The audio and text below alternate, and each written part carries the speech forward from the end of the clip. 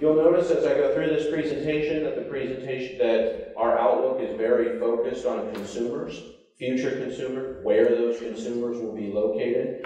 Um, it's also focused on what types of energy choices those consumers will be uh, utilizing, as well as our best estimates on what technology developments will bring us in the areas of supply as well as energy efficiency. Um, like I said, we use this study internally, so the purpose of this uh, study is not to develop some rosy picture that fits our business model. We're very interested in developing a realistic uh, outlook on energy use, energy consumption, and, and uh, production in the future so that, again, we can apply it to our own internal business decisions. I'm sure many of you are, are wondering and probably primed to ask the question, how has this outlook changed in, the, in light of today's oil prices? Uh, quite a dramatic drop in the price of oil, I think over $100 a barrel uh, just as recently as 2014. I think this morning it's around $28, $29 a barrel. I mean, quite a dramatic change. Um, but what you'll see in this outlook is uh, not much has changed. Uh, the oversupply situation that we're in today that's driving low oil prices, demand is not quite where, has not recovered quite as, uh, as much as we thought, you know, people th thought it would and we've been producing excess uh, supplies of oil and gas recently. So it's a short-term oversupply situation that won't last. And so when we look at the outlook, we're looking in the long-term trends for supply and demand. And so while we're going through a big dip in oil prices today, it really isn't, hasn't changed our outlook on where the energy industry will be in 2040. Uh, and the, main, the reason for that is because there's two main drivers for energy consumption. The number of people in the world, as well as the living standards of that population. Uh, there's roughly 7 billion people in the world today, and we expect uh, by 2040 that the population will grow by roughly 25% uh, to around 9 billion people by the year 2040. At the same time, it's expected that the global gross domestic product will increase dramatically. Uh, in fact, it will more than double uh, over the outlook period, and it'll rise much faster than the rise in population. And that's significant. What that translates into is an, a raising of the living standards of everybody around the world. So while the population is growing by 25%, we will generate over a, uh, 100% increase in uh, economic output.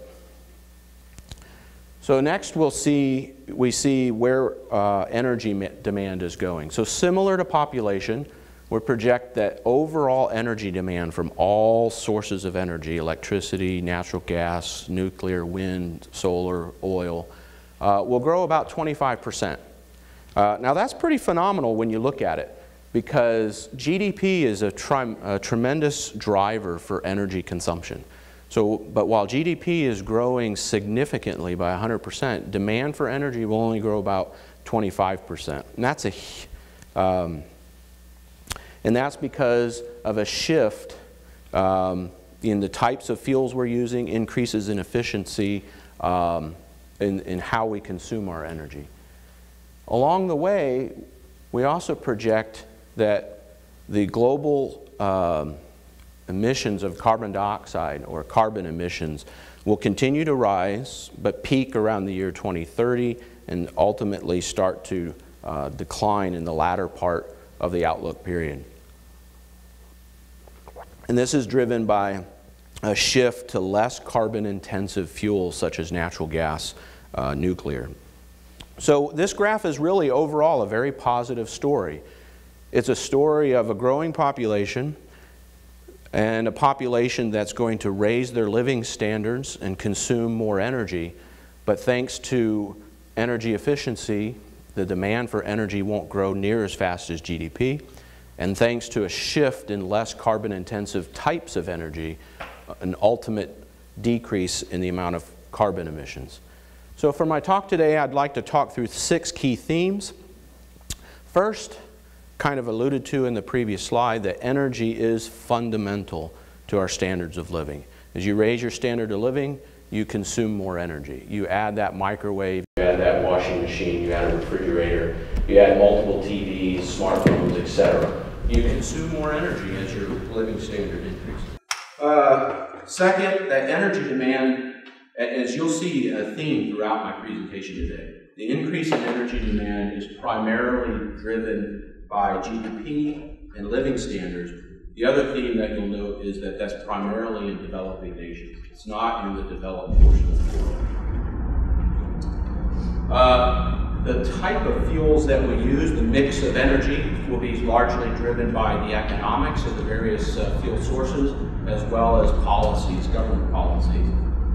And that oil will remain the world's primary fuel through 2040.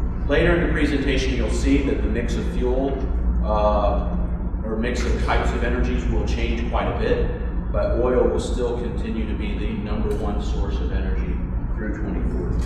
But the demand for natural gas, you'll see this theme over and over again, the demand for natural gas is going to grow more than any other source of energy. And there's a couple of reasons behind that, and I'll go into more detail on that later. And then lastly, uh, all of this is made possible. The, the development of new sources of energy, the improvement in the efficiency in which we use energy, is all made possible by technology. So let's start with the first theme, living standards. Here you'll see how various uh, countries score on the United Nations Human Development uh, Index.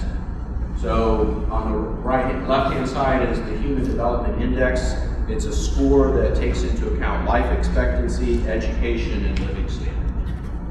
Okay, so that, that uh, Human Development Index is plotted against uh, energy usage per capita. And you can see off to the far right, United States and Norway, high living standards, you know, high life expectancy, elevated education levels. You know, we're far to the right, or far uh, up on the development index, but we consume a lot of energy. You can see on the opposite side, Bangladesh and Congo, where they're not quite as developed, and as a result, their energy consumption per capita is much less. So put this all together, while the circumstances vary different or vary from country to country, the theme is pretty clear. As an economy becomes more developed, as people become more educated and, and more importantly, living standards rise, energy consumption increases. And so you can see that by plotting all of these countries' uh, development index against energy. So think about all of the forms and uh, ways that you consume energy every day. Transportation, heating and cooling your workplace or your home, uh, recharging your cell phone or the computers you use every day, all of the appliances that we uh, employ for our lifestyle, all of those consume energy. But that's just what you're consuming. Also take into account the energy that's consumed to deliver your food, to deliver the products that you uh, use, as well as the energy involved with um, providing community services such as schools, uh, hospitals, uh, roadways, lights, street lights, clean water, and such. All of these things consume energy. And in the United States, if you were to look at all of the energy consumed divided by the number of people we have in the United States, on average in the United States, we consume the equivalent of about 7, or 7 gallons a day of gasoline. Now, what we've done is we've taken all different types of energy you use and converted it from an energy content basis and put it on into a, a a unit of measure that you can kind of relate to. So if you took your electricity and all of the different types of energy you use, you use the equivalent of about six gallons of gas a day. Or put another way, you'd consume and have to recharge your cell phone battery about 27,000 times a day. And that's every single day. Now, that's just in the United States, though. If you look globally, however, The global average is really only about 1.7 gallons of gasoline per day. And that's driven primarily because of the difference between our living standard and living standards around the, uh, around the world. Now that, that doesn't seem like much, does it? 1.7 gallons of gasoline? That's not much. But remember, there's 7 billion people in the world. And so simple math will tell you that 7 billion people in the world consume 12 billion gallons of gasoline, equivalent of energy per day. So tomorrow we're going to need another 12 billion gallons of gasoline. So let's look at our second theme, and that's that the biggest driver of energy demand through 2040, through 2040 will be gains in gross domestic product, living standards, and primarily in the developing world. This is really a good news story. I mean, basically what this means is you're going to have a dramatic increase in the living standards of the entire population around the world. So let's take a look at GDP and where it stood in our base year of 2014. So in 2014, global GDP was the equivalent of about $72 trillion.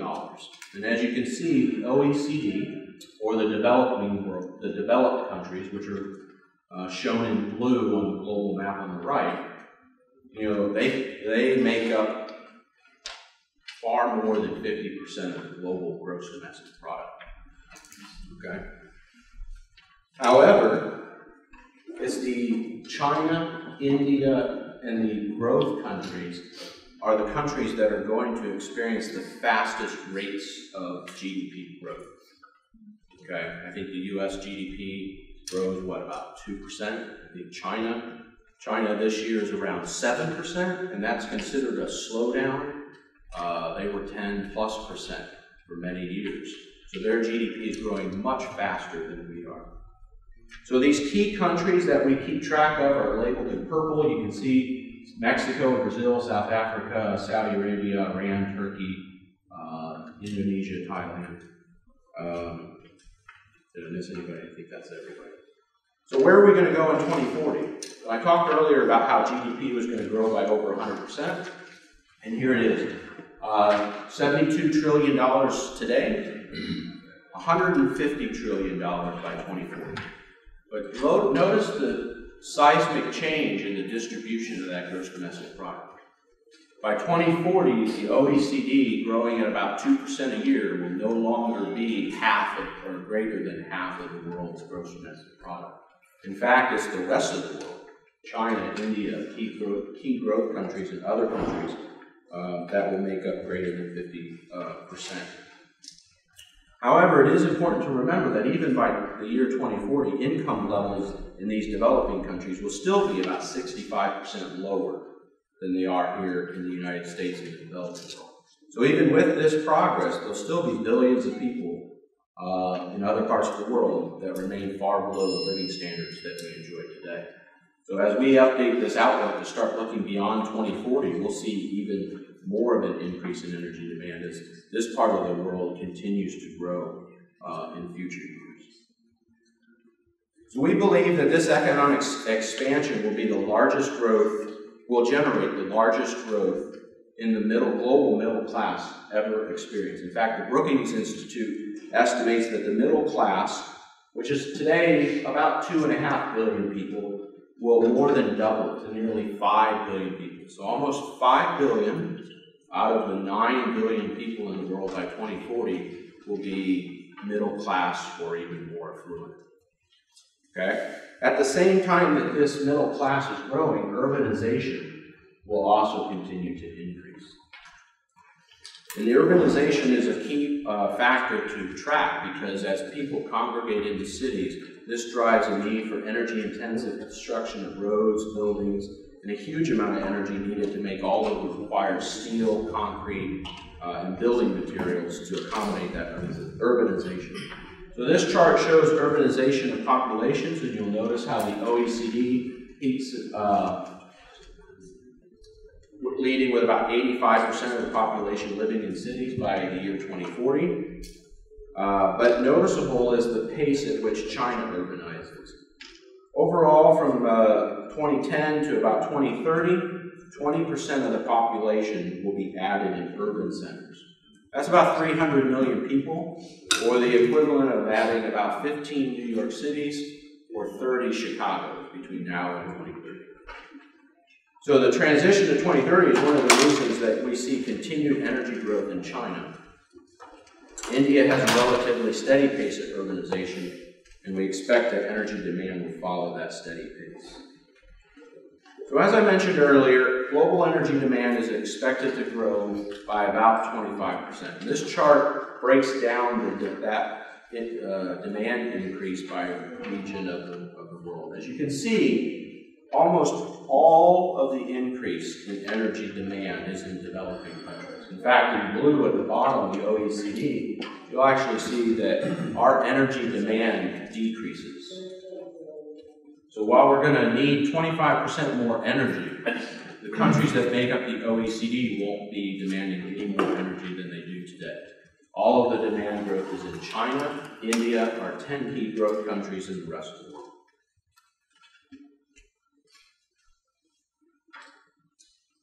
This also reflects the fact that energy usage is already quite widespread in OECD countries. So, I mean, you know, how many uh, refrigerators or cars, you know, do people need in the United States? as we grow our economy, we're not necessarily going to add any more cars to our garages than we have today, or any more washing machines to our houses. But in other areas of the world that that growth will continue. For example, in India, there's only two cars per 100 people today versus 60 cars per 100 people in North America. So, as those economies grow, the number of cars in China and India will significantly, and that will drive energy demand.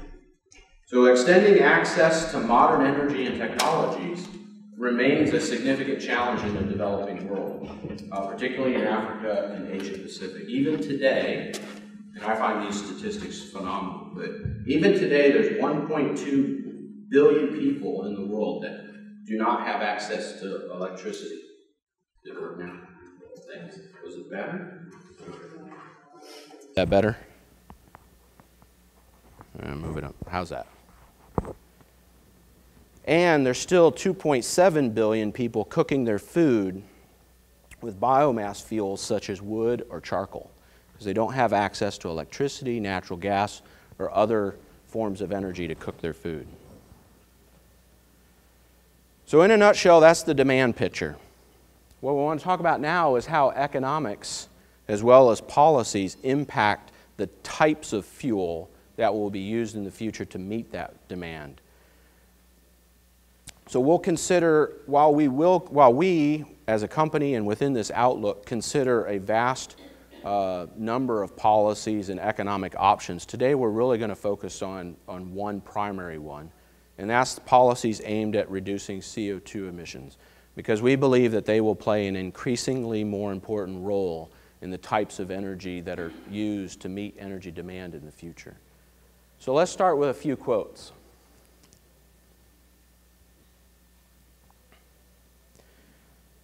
So, as the United Nations has recognized, billions of people are impacted by energy poverty. So, improving access to energy and the standards of living of all people remains a priority in many, many countries around the world.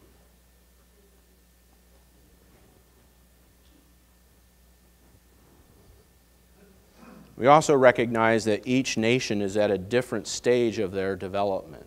So each of those countries has to consider multiple priorities as they make their choices uh, on investment decisions.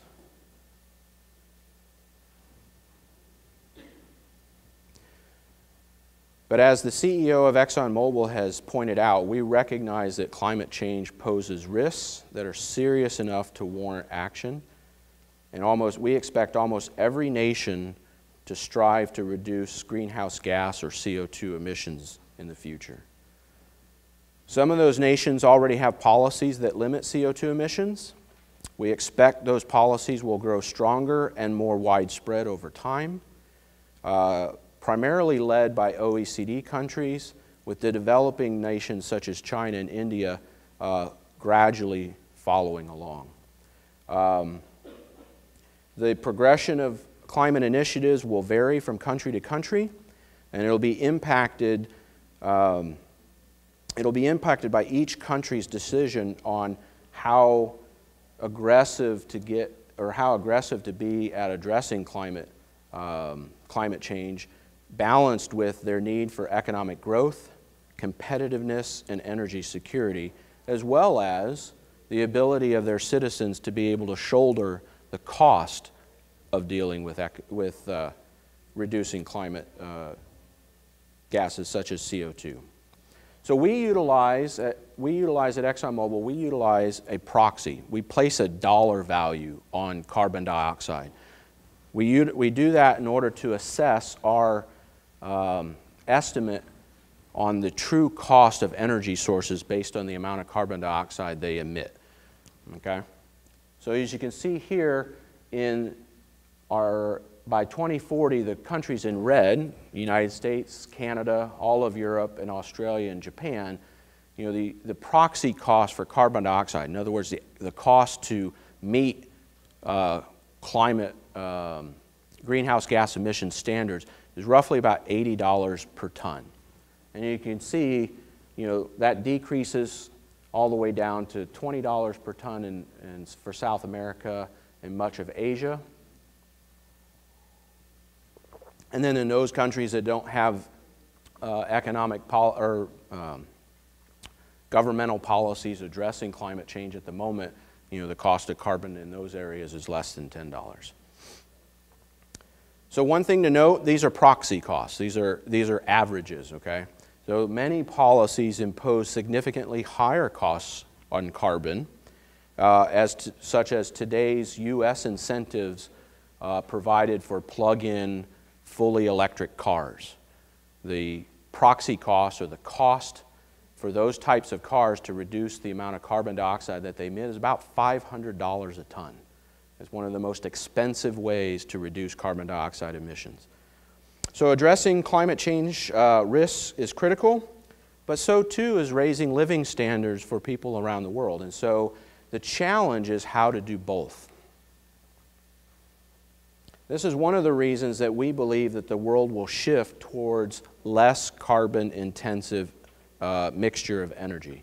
So as you can see here, we expect the share of the total energy uh, supply uh, for coal to decrease dramatically.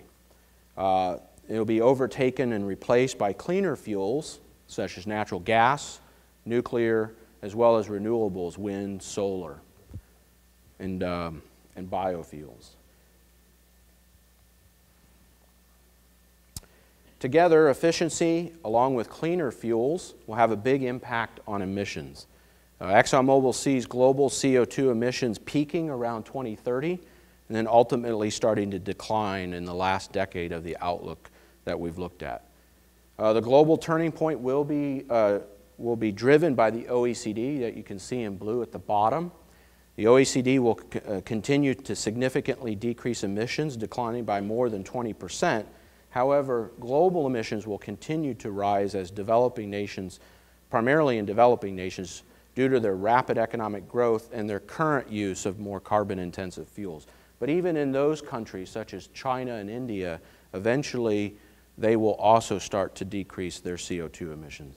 And this, this is a very credible forecast. It's in line with the International uh, Energy Agency's new policy scenario. They, however, show em emissions to continue to grow right up to 2040. We actually think that they'll start to decline in the last 10 years of the outlook period. So let me wrap up with just one last quote. So, like Bill Gates and many others in this area, we also believe that innovation and technology hold the most hope to finding solutions for managing climate change risk, while at the same time uh, advancing living standards around the world. I mean, you only need to look back uh, in history just a, a, short period of time to realize you know, how much technology advancement has really uh, brought new technologies to our use. So there are many aspects of the world's energy future upon which ExxonMobil and the IEA and others agree. And one of the keys, uh, one key area that, of that agreement is that oil will remain the number one fuel source uh, through 2040. And that leads us to our next, our next theme. So ExxonMobil sees global demand for oil as well as other liquid fuels rising by more than 20%. Let's take a look at what's driving that demand. As you can see, the biggest factor here is transportation. So today, over 95% of the world's transportation needs, whether it's cars, planes, trains, is met by liquid fuels. That's gasoline, diesel, jet fuel. And you can see that that share remains uh, high throughout the outlook period, and that's primarily because liquid fuels are ideally uh, suited for transportation. They're available, you know, they're readily available. There's a large distribution infrastructure already in place. And more importantly, it packs a lot of energy into a small volume. And so when you literally have to carry your fuel around in your car's fuel tank, it remains one of the most economical ways to fuel your car. However, another significant and growing source of, energy, of oil demand is the industrial sector. You can see that. In the sector that I uh, am very active in, because I'm in the chemicals portion of ExxonMobil, you'll see that the, uh, as the industrial demand for liquid fuels increases, there's a fairly significant increase in the amount of that that goes to the chemical sector to make plastics and other advanced materials. And then you can see liquid uh, consumption, oil uh, and natural gas liquids consumption in energy generation and residential co uh, commercial really are flat to down. So it's really the industrial and transportation sectors that drive oil. So let's take a look, since transportation is the largest bar on this graph, let's take a look at transportation in a little bit more detail. What's really interesting here is that the growth in demand for liquid fuels is not, in the transportation sector, is not going to come from cars or what we refer to as light duty vehicles. It's really coming from commercial transportation, mostly from heavy duty road vehicles such as large commercial vehicles, the 18 wheelers that you see, and delivery trucks that are delivering goods. And this really, I mean, this projection really goes hand in hand with that economic growth story. So as economic growth continues and living standards uh, continue to rise, more and more people are going to order goods and they're going to acquire more goods and services. And all of those are delivered by heavy duty commercial transportation. And so that's the sector that's really going to drive transport, uh, transportation fuel needs. Um, light duty, you can see at the bottom, actually declines. Well, it's really an unprecedented decline. I mean, the, the consumption of gasoline in light duty vehicles has been increasing for decades, but we actually see that peaking and turning over and starting to decline. It's not that there's going to be fewer cars on the road. In fact, we expect the global number of cars to increase by 80%. In fact, in China, China will overtake the United States of having more light duty vehicles on the road during the outlook period. But it's actually fuel efficiency um, that will drive that. And we'll take a look at that in more detail. So, the average fuel economy of a light duty vehicle is expected to grow by 80%. So, while the number of vehicles are growing by 80%, the fuel efficiency of those vehicles is also improving by about 80%. Today, it's roughly about 25 miles to the gallon. We expect by 2040 that that'll be more like 45 miles to the gallon. And you can see here where in the world back in 2008 where countries had policies in place you know, dictating how much fuel economy light duty vehicles uh, achieved. There were really only four back in 2008, the United States being one of them. And just 10 years later, in 2014, more stringent standards were adopted by large countries such as the US and the EU, but more importantly, a, a number of countries around the world implemented fuel economy standards. So, what this means is that about 90% of the cars today are in countries that have fuel economy standards. The net effect of these standards is that car manufacturers have to produce much more efficient vehicles. Of course, the key question everybody asks then for the transportation is well, what type of cars will people drive in the future? Some people think the answer might be fully electric cars like the Volt and the Leaf. Uh, there are very few of them on the road today, but they're getting a significant amount of press time. But let's take a look at comparing the internal combustion engine and the electric car. Vast majority of the cars on the road today are conventional internal combustion vehicles, and, and for many reasons. One, the primary drivers, they are the lowest cost transportation solution um, for most, almost all consumers. They're easy to use. You can find gasoline at just about every single uh, intersection. Uh, it's easy, quick, and easy to fuel up. You can fill up your car in a matter of minutes, and you can drive your car hundreds of miles before you have to stop and refuel again. Now compare that to electric cars. Technically, they are more efficient, but they come at a very high cost, and consumers have to deal with only being able to drive them a very limited range, and then they've got to plug them in and wait hours for them to recharge. Um, these cars are especially attractive because of the concept or the idea that they have zero emissions. You have to remember that's zero tailpipe emissions. While the car itself may not have any emissions as you're driving the car, you have to take into consideration all of the CO2 emissions generated by the power companies producing the electricity that's being consumed to charge that car. So while the car itself is technically emitting no emissions is still contributing to carbon dioxide emissions through the production of the electricity needed to recharge that car. We pay attention to, as an oil company, we pay attention uh, to the development of electric, car technology very closely. And honestly, we don't see, and, uh, without a significant breakthrough in the technology of the battery in those cars, uh, we don't see these cars being a very attractive option in the near future. Uh, and we also don't see that breakthrough on the horizon. May come someday, we just don't see it at the moment.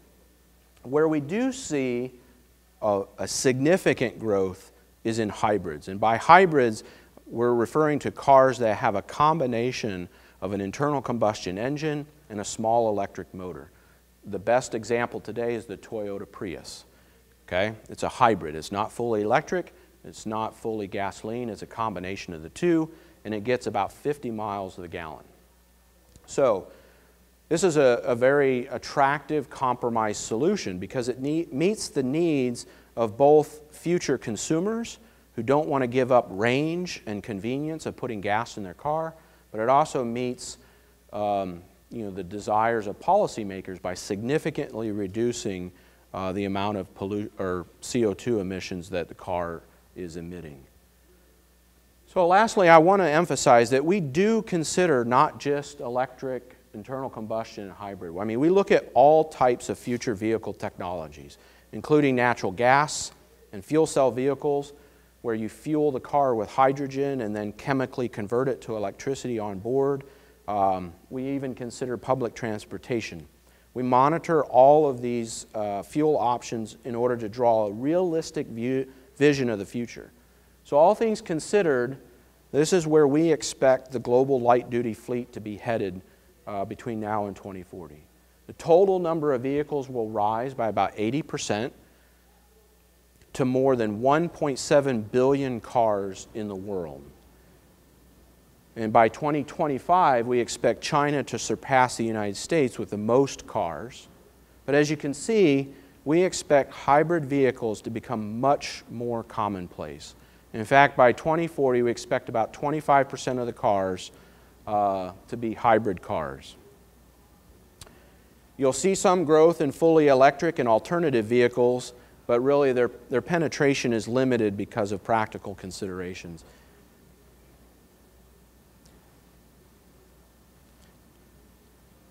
So now, We've been talking a lot about demand. Let's shift to the supply side for liquids. We expect the supply to grow by about 20%, reaching, reaching 112 million barrels a day of oil equivalent. Uh, this chart shows the supply sources. Um, you can see OPEC at the bottom, as well as supply from non OPEC countries. They're expected to grow over the outlook period with North America, Saudi Arabia, Russia, and Iraq uh, providing around half of the world's oil supply. On the right, we see growth supplies by type, starting first with conventional oil for OPEC and non OPEC countries, followed by NGLs or natural gas liquids. These are liquids that are co produced when we produce natural gas. And then tight oil, deep water, oil sands, and other. And those last four categories are really driven by technology advancement. So, tight oil, the ability to produce tight oil, a combination of horizontal drilling and hydraulic fracturing has dramatically increased our ability to recover oil from tight shale formations. Deep water, also a technology story. With the advancement of technology and materials, we're able to go deeper and deeper into the ocean and drill deeper and deeper into the, into the earth to develop uh, more and more oil out of deep, uh, deep water. So fundamentally, these uh, technologies have led to our current age of abundance, which is really the story behind today's low oil prices. It's an oversupply. These technologies have developed uh, to the point where they're now producing more oil than is demanded, and so we're stockpiling oil, and oil is uh, at a low. Demand will pick up, drilling will slow down, producers will slow down, eventually oil prices will turn around. Um, but this is, again, we think this is a short term phenomenon. But what's interesting here is if you kind of eyeball the, uh, the bars for OPEC and non OPEC, you'll notice that conventional crude oil stays roughly flat, doesn't really grow. All of the growth in oil production will be in NGLs as well as these technology stories, tight oil and deep water. So, trade is very important because the availability of oil and liquid fuels is not always in the same place that the demand is at. So trade is a critical importance to this to the supply story. The world has more than enough resources, but it's not always in the right place, so it's got to be moved around the world. So this chart shows trade balances by region. So the blue bar is how much of that region's demand is met by local production. The green bars illustrate those areas where they are able to produce more than they need locally and they're a net exporter of oil. Whereas the red bars mean that they need much more than they are able to produce and so they uh, import. What's really interesting about this chart is that by, I don't know, about 2022, somewhere in the 20, just past 2020, North America goes from being a net oil importer to a net oil exporter. And that's really the only region where you see that shift from import to export. In all of the other regions, it stay pretty much the same. I mean, their demands change, but Europe and Asia Pacific, who are currently you know, very heavy importers, will continue to be very heavy importers. Middle East, Russia, who are currently very heavy exporters, they're going to, their demand will go up, but they're going to continue to be very significant exporters of oil. Africa actually will get close to balance, we believe, by the year 2040. So, as I mentioned earlier, natural gas is expected to grow more than any other energy source. In fact, about 40% of the total increase in global energy will be met by natural gas. It's always been a reliable fuel, but its relatively low uh, carbon content and the recent breakthroughs in unconventional gas uh, production are lifting gas to a new level of, of prominence uh, in, on the energy stage. And by 2040, we expect natural gas will surpass coal to become the second largest source of energy. And this is where we see natural gas demand growing in four primary sectors. You can see industrial, and electricity generation are the two key areas that will grow the demand for natural gas. Uh, the industrial sector will accounts for about one third, uh, and the rest of the growth is divided between residential, commercial, and transportation. And about half of the growth will be in electricity generation, or will be needed by electricity generation. So, since electricity generation has a significant influence on rising gas demand, let's take a look at what drives the growth in electricity demand. This chart so, shows which sectors drive about two thirds of the growth in electricity. And you can see there's growth in the industrial area, but primarily in the residential and commercial area. And then this, this chart shows you where that growth will take place. And you can see the significant increase in electricity demand in China. I mean, everybody's growing, but the United States and the European members of the OECD are only growing slightly. It's primarily China, India, and those 10 key growth countries that I outlined earlier that will drive the significant increase in electricity demand. So, the key question for the outlook is with the world needing two thirds more electricity, what fuels will be used to generate that electricity? And so, this chart shows you the breakdown of what types of fuel are used to generate an increasing demand for electricity or, or power generation. And as you can see, between 2000 and 2040, we see uh, you know, there's not a lot of oil going into electricity generation. There's a significant amount of coal, but we actually expect the amount of coal used for electricity generation to peak around 2030 and actually start to decrease. It's really natural gas and nuclear are the big growth areas. So while coal continues to grow a little bit, the, the coal demand won't be in the OECD. So these dotted lines show the portion of coal that is used for power generation in the OECD. So it's really China and um, the other uh, developing countries of the world that are driving that coal growth uh, through, the, um, through the outlook period. Wind and solar, you can see in the yellow bar there, they'll reach a combined supply of about 10% globally by 20, uh, 2040. Primarily, uh, the, the largest region uh, will be Europe. We actually think Europe will meet about 25% of its electricity needs via wind and solar by 2040. And all of, these, uh, all of this growth is driven by policies such as subsidies and mandates.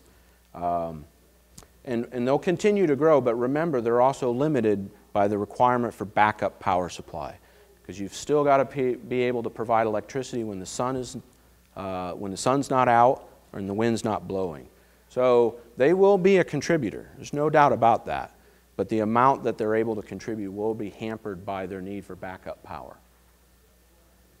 So, natural gas is the key story. So, let's look at the supply of natural gas. We see the supply of natural gas growing by about 50% to over 500 billion cubic feet per day.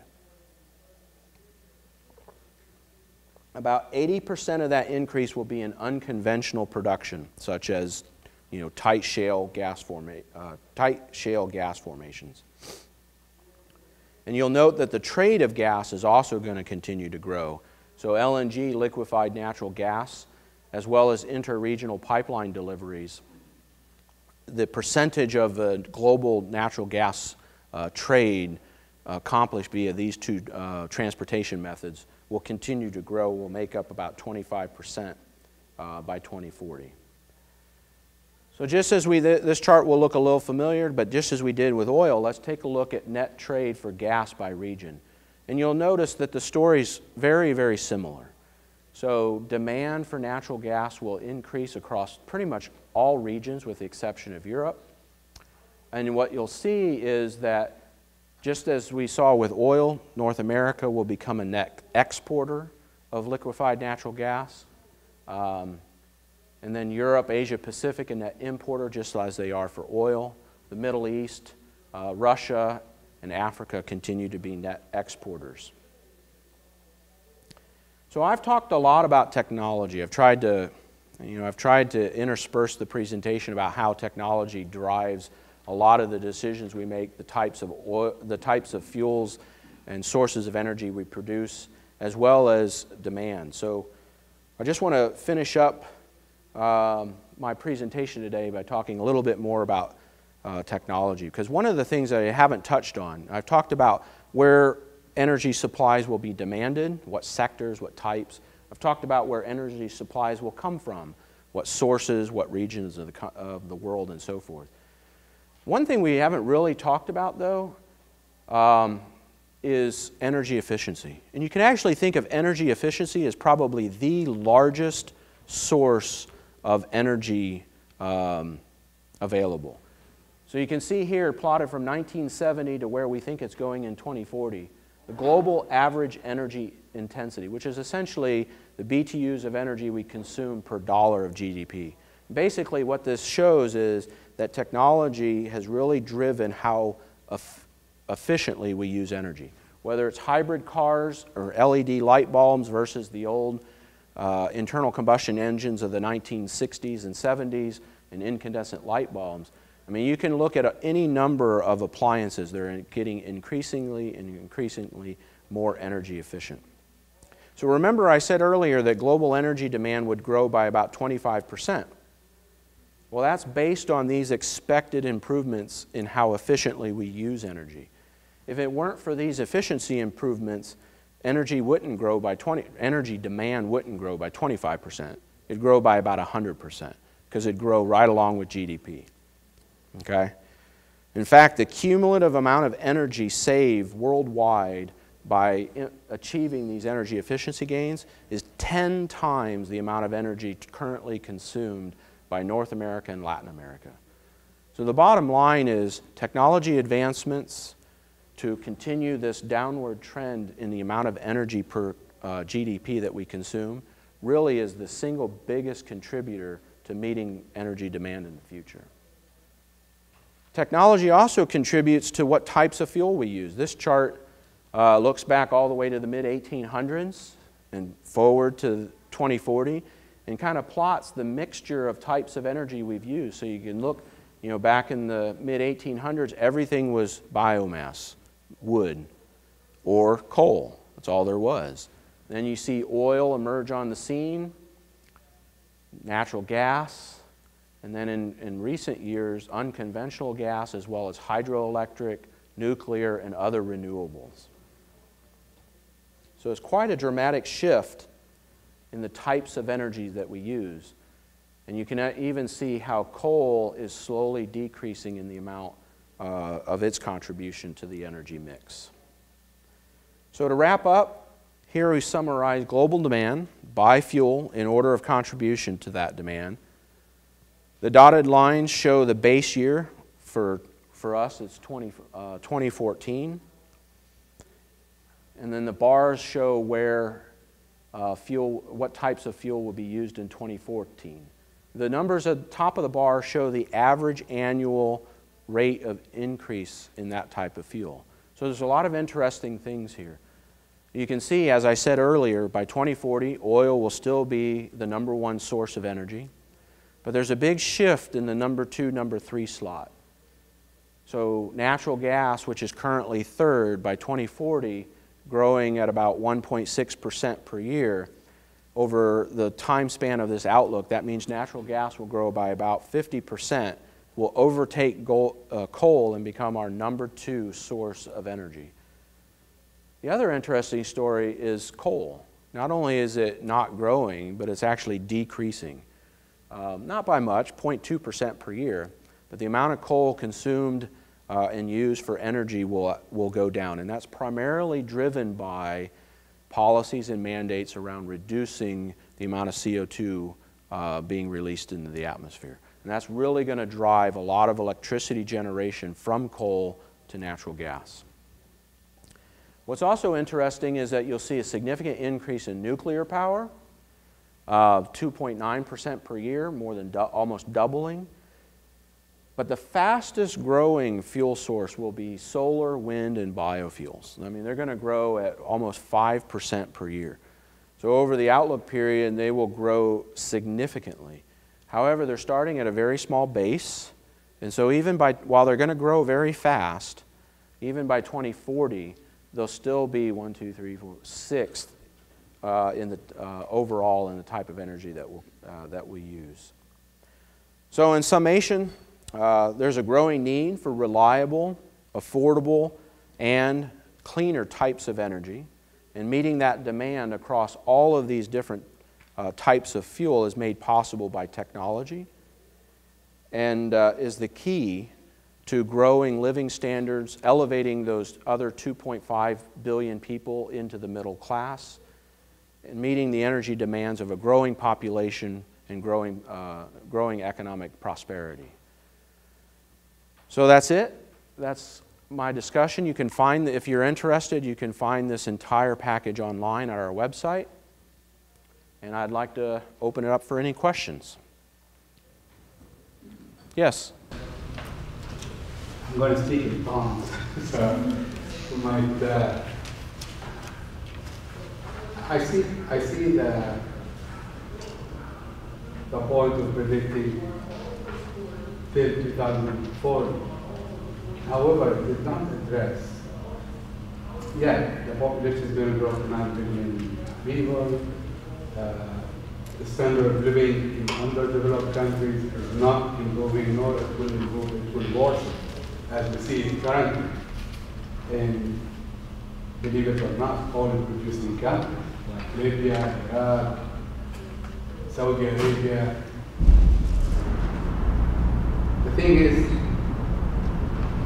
geopolitically, does this prediction look like that? You know, I honestly don't know how much geopolitical uh, issues influence this outlook. I'm sure they're considered to some degree, but they're extremely difficult to predict. Um, I mean, the changes in some of the Middle Eastern countries just in the last two to three years, that's very hard to predict on what will happen between now and 2040. Overall, while some individual countries may or may not achieve their standard of living increases, over as a, as a, as a, as a globe, we still expect a significant improvement in living standards. Remember, the primary drivers here are India, China, Mexico, South America, and so forth. So there are, you can still point out individual countries that may not achieve those living standard improvements. But as a whole, on a macro scale, we still expect to see that significant increase in gross domestic product, raising of living standards, and ultimately demand for energy. Geopolitical, you know, it's very hard to, how do you predict, you know, what one country's leader will do between now and 2040? And those leaders change out, you know. So it, it, I see your point. It definitely has it, it, it definitely is a factor, but it's extremely difficult to predict. Any other questions? Okay. Thank you very much for your time. Uh, really appreciate coming to talk to you today and hope you enjoy the rest of your meeting. Good morning, everybody. How are you this morning? Yeah, I can tell you're a good group this morning. Good to see you. You're going to get a double dose, aren't you? You you are going to get a double dose. He was uh, in our charter school presentation, and I did this piece about the importance of emergency operations planning. Uh, my name is E. Ekamit Burley, and I'm the director for the Center for Safe and Secure Schools. And just quickly, a little quick introduction about my background. I am a 30-year educator, and I started out in the classroom and ended up in the boardroom. At the end of my career, I spent six and a half years as a superintendent of schools. And uh, I've always worked with diverse student populations. I loved every minute of it. And this role has really given me an opportunity to stay connected with and support schools and children, which is the bottom line while we're all here. Uh, as you know, we are in a support function. Would you agree? We're there to facilitate and what's happening with kids, and our goal is, is to help them be successful. And sometimes I know uh, as a superintendent, I had to work with my CFO to remind her that's why we're there. We're there to help them, not throw roadblocks in their way when they need help and support. Would you agree?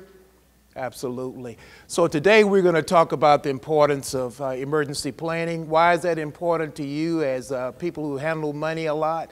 Because if you don't have a plan for emergencies, it can come back to bite you. Would you agree? Okay, how many of you have some responsibilities over operations or maintenance you deal with anything to do with operations, facilities? Anything? Few of you? Okay, we've got a few here, okay? So this topic is going to kind of lend itself to those areas because emergency planning is very important today, particularly in the society we're currently living in. I think I have, I have never seen uh, so much going on that's happening in America and around the world that is impacting our schools. uh, active shooter incidents, for, uh, for, uh, for example, uh, the ISIS threat, and uh, their ability to radicalize people from uh, thousands of miles away, the incident in San Bernardino. So we're going to talk a little bit about that today, but I want to introduce you to the Center for Safe and Secure Schools real quickly. our goal is to support you, support the superintendents. We were created in 1999 at the request of superintendents in Harris County to support their efforts to maintain learning environments that are safe and secure, where teachers could teach and students could learn. And they asked us to have that as our focus. So we pledge to provide solutions to challenges that schools face every day in the area of trying to secure their learning envir environments and make them conducive for students performing at their best. And our vision is that we want to be your first choice. First place you come when you think about safety and security. How can I get information and training for my staff in this area? We want you to think about us. That's our vision. So we're working hard to do that. Some of our core beliefs. One of the things that, as a superintendent, I always tell uh, teachers and others administrators that good discipline starts with good instruction.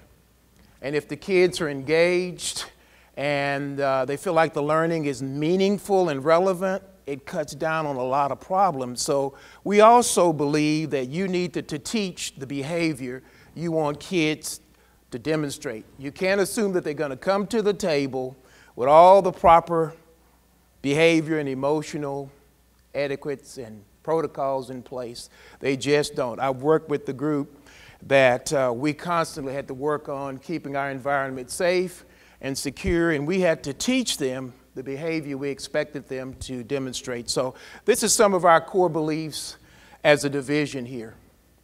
Today, what I hope to accomplish with you is that I want to emphasize that emergency management planning is an ongoing process and not a one time event.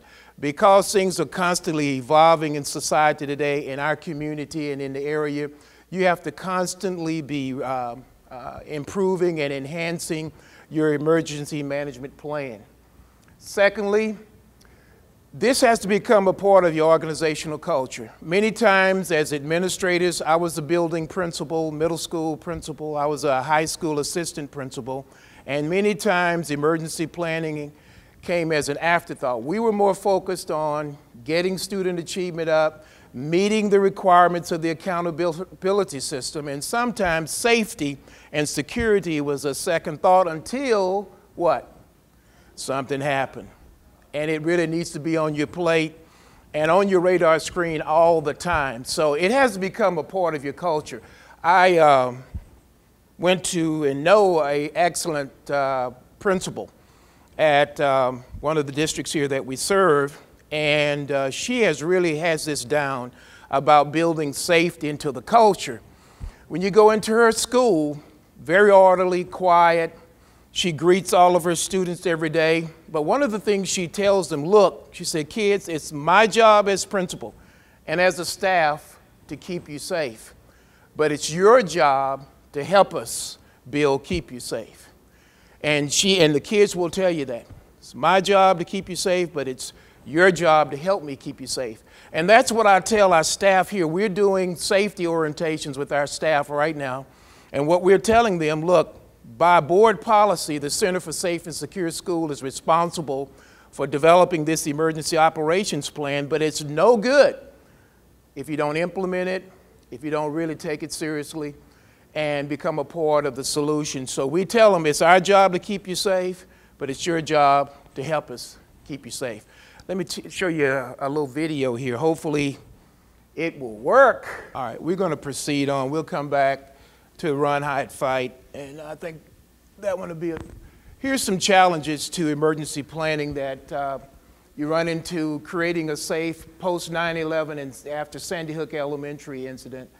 First is finding the time and resources. Having people being able to sit down with your staffs at your campus level and do the kind of planning that you need to do. It's a collaborative effort. I always tell um, people in our presentations that you can't do this planning in a vacuum. You've got to have a cross section of people there from dis- different disciplines who are sitting there planning with you. The other piece is creating a culture of safety requires ownership by all who are working in the learning community. How do you create ownership? Can somebody tell me?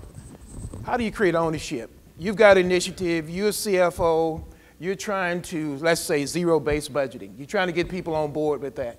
How do you get them, to, how do you get the buy-in? You, you use a group of people to participate in the decision making. All right, anybody else? You find leaders. Find leaders leaders that will lead. that will lead. It is, that's right, you're exactly right. And it's the same with safety planning and emergency planning. You've got to get people involved in the whole process, starting with the planning and have a cross-functional group of people that are working with you uh, so that they can have buy-in. It won't work. So I hope you'll accept the challenge to help your people at your building find the time and provide them with the resources that they need. What does the law say? The law says in chapter 37, 108, that every three years you have to have a safety audit conducted of all your facilities, instructional and non instructional. All right, also, they envision the process being ongoing. And I mentioned the cross functional teams. You got to have a safety committee. At your buildings and also at the district level, you should have a safety committee that is involved in planning and in uh, developing a emergency operations plan. Okay, we were talking about some of the requirements that uh, the state uh, wants you to have in your emergency plan. Uh, it has to be a multi-hazard emergency plan. In other words, it's got to cover multiple incidents, probably particularly those that are most likely to happen in your area based in your, on your situation in that multi-hazard plan. Employee training is important, it's required. And that's one of the things that we're seeing a lot of is that when we go to a building to do a safety audit, we talk to the principals at the building and we ask them, have their safety committee been, has it been selected, designated, have they been trained? And it's lacking. And I think you as central office personnel are gonna have to have, have them help with that and provide a way for them to get that training and service. We have a solution in the, your uh, brochure there called ERIP that has the training module that you can uh, get that is already built in to do some of the training that's required. You have to report the audit results to your Board of Education. It's not open to the public, but you do have to report it to your board, and you can also use it for internal purposes. Other requirements in the plan, badging policy a badging policy. One of the things that we do when we do a safety audit is that we go around your building, the perimeter, and try to gain access into the building to see if you have some type of protocol in place to prevent an intruder from getting into your building. One time we were doing an audit at a school district in, um, in the area, and we knocked on the door, and the custodian came, and we asked her to let us in, and she did. So what that means is that your custodians have to be a part of the process. And we forget that your cafeteria workers, sometimes you don't think of that. What kind of uh, safety plan do you have for kids who are in the auditorium? Or if you have an emergency and they're in the gym or in the cafeteria, do you have a plan for that? What about at your stadium? Do you have a safety protocol for if something happens at your stadium? Um, one of the uh, emergency operations centers doing a workshop and it's just working on just that, working on developing plans for when you're in large areas or outdoor areas. So that's important. Badging policy, role specific, and it needs to be based on NIMS and the incident management and the incident command system. Uh, NIMS is the National Incident Management System. It was put in place by George Bush when he was president, but it gives you a way for everybody to speak the same language. The framework is used by first responders, and everybody that comes to an incident or accident is familiar with that particular framework. Areas of your facility. If you had a first responders, if they, when they come, would they have access to your floor plans? If you had an active shooter, hostage situation, could first responders get access to your floor plans easily? And uh, more and more, uh, school districts are doing aerials of their facilities. Drills and exercises. How many of you do drills and exercises at your non instructional facilities, at your maintenance, okay, at your central office? Many times we find that sometimes school uh, district and district official, officials overlook the non instructional facilities, but that is critical. Parent child reunification plans. There was an incident that happened last year at one of the districts in our area where a student was stabbed to death. And kids, the parents came up, of course, because kids were uh, texting them and saying, look, something's going on, we're on lockdown. But one of the things that came out of that whole ordeal was the lack of a parent reunification plan, a lack of a plan for communicating to parents what was going on. And that's, that's important that you have that. Emergency response team list. How many of you have an emergency kit in every classroom for your teachers? Someone said yes over here, someone else. I saw a hand go up. You should have that. They should have what they need in case of an emergency, an intruder. In that kit, it may be things like something to put under their doors to let, let you know that they're okay, something in some way to communicate with you. Uh, give them what they need to, in order for them to uh, have a uh, plan of action in case of an emergency. Joint planning meetings with your, uh, with your local emergency management planners.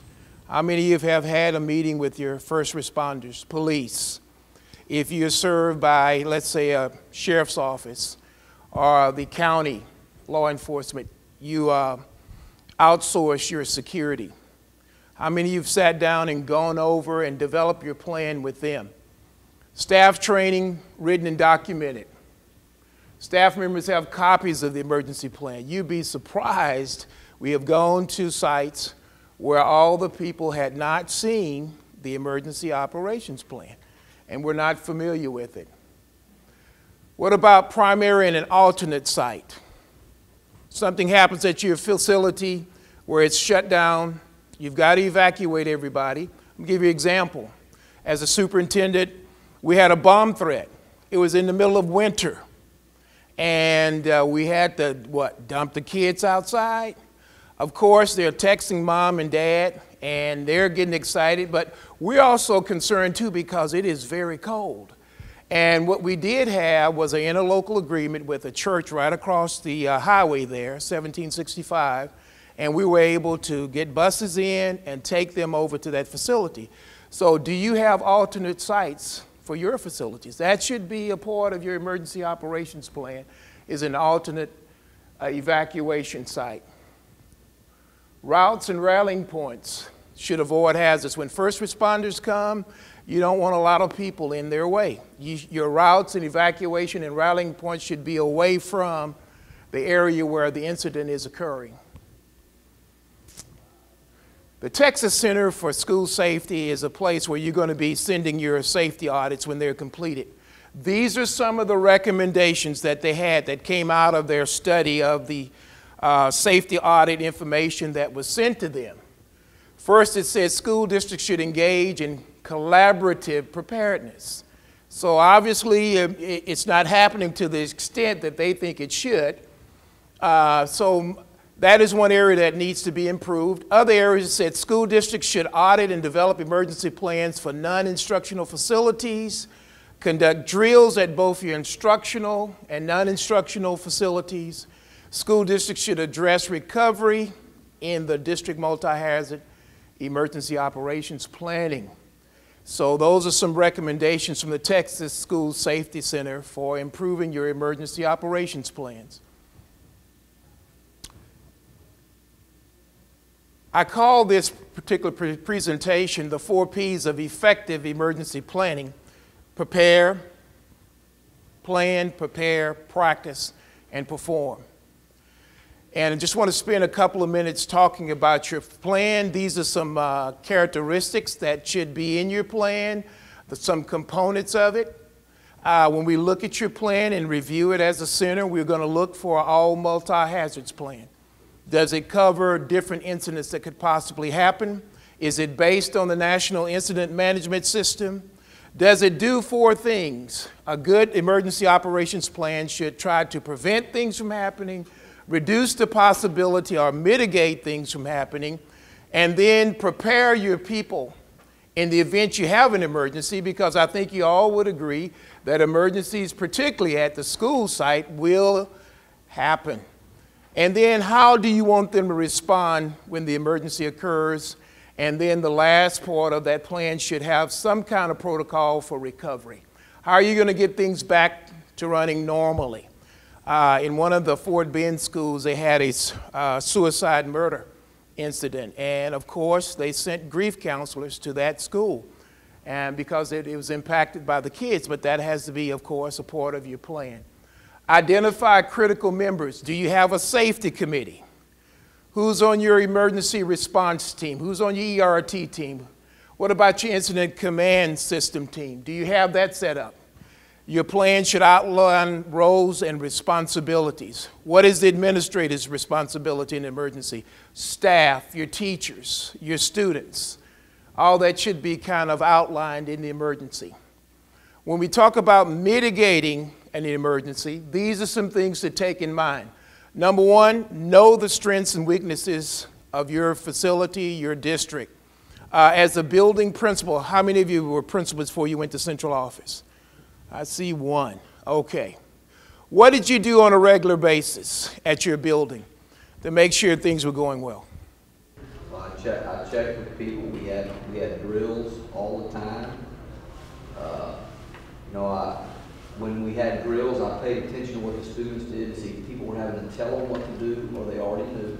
Yes. Uh, And then after, after our drills, when, when we did something different out, besides the fire drill, we would always meet afterwards, talk about what went well, what didn't go well, what we needed to change. Yes. And so, Outstanding. And you bet you got your MBA degree, right? yeah. Yeah, you got that management by walking around. And that's what good principals and administrators do. And I would encourage you as central office people, get out of your office. Go see what's happening at your buildings. Even if this is not an area of your responsibility, because there can be things that are going on or things that you can see that uh, will help you in your planning, uh, whether it's financially or whether it's dealing with emergency planning. As a superintendent, I did not want to get so far away from the action that I did not know what was going on. I had to rely on my central office people to tell me what's going on. I didn't think that was the kind of leadership style I wanted. I wanted to know what was going on at my buildings, in my classroom, so I got out and moved around. Know the safety and security issues that may exist in the community. Everybody's community is different. Some are affluent, some may be low income, high poverty, and they all bring with them certain issues. Affluent school districts, as a matter of fact, the data show that affluent school districts and uh, those that are kind of rural have a high incidence of active shooters. Did you know that? That's right. You don't see very many of them happening in the inner city. Doesn't happen for whatever reasons. It happens in rural, kind of suburban, isolated areas. High incident of act. So you need to know that. You know, what does your community, uh, what are some issues in your community that end up landing in your, your schools? Uh, we knew that on the weekend, if something happened in the weekend, guess what? It might show back up Monday. We might have some fights going on in the building because something happened on the weekend in the community.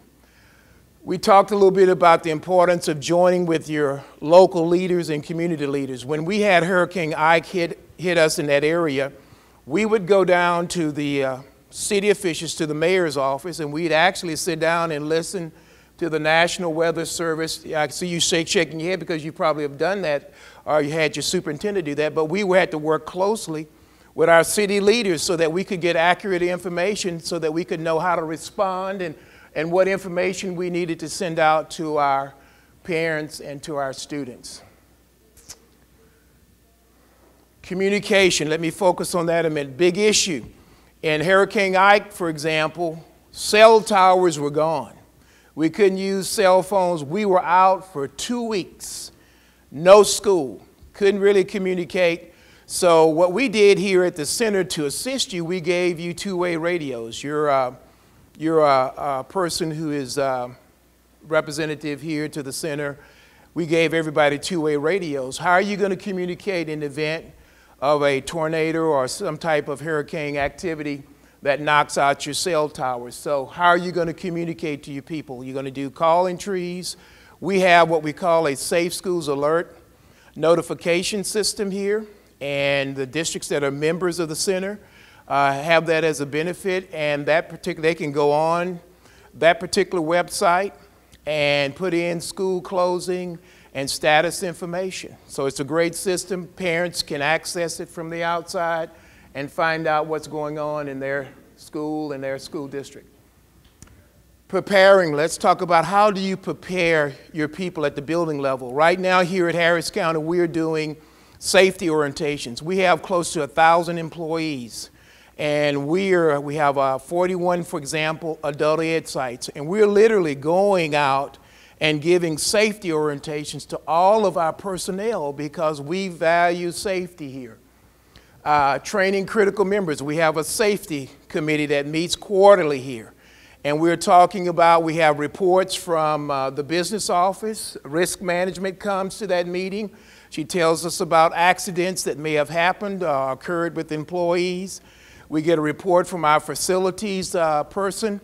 So it's a very informative meeting, but it's to keep us abreast of what's going on from a safety standpoint. Ensure materials, equipment, and emergency operations plans have been disseminated and they have been vetted.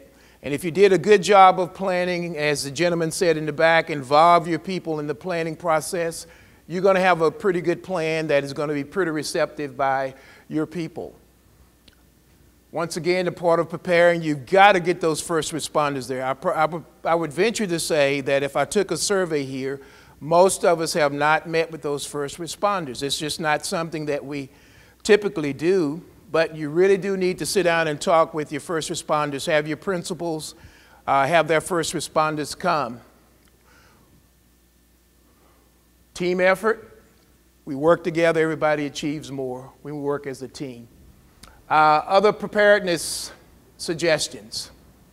What have you done already? Build on what you've done. Don't throw the baby out with the uh, bathwater, so to speak. You may have a good plan in place, but can you enhance it? Can you improve it?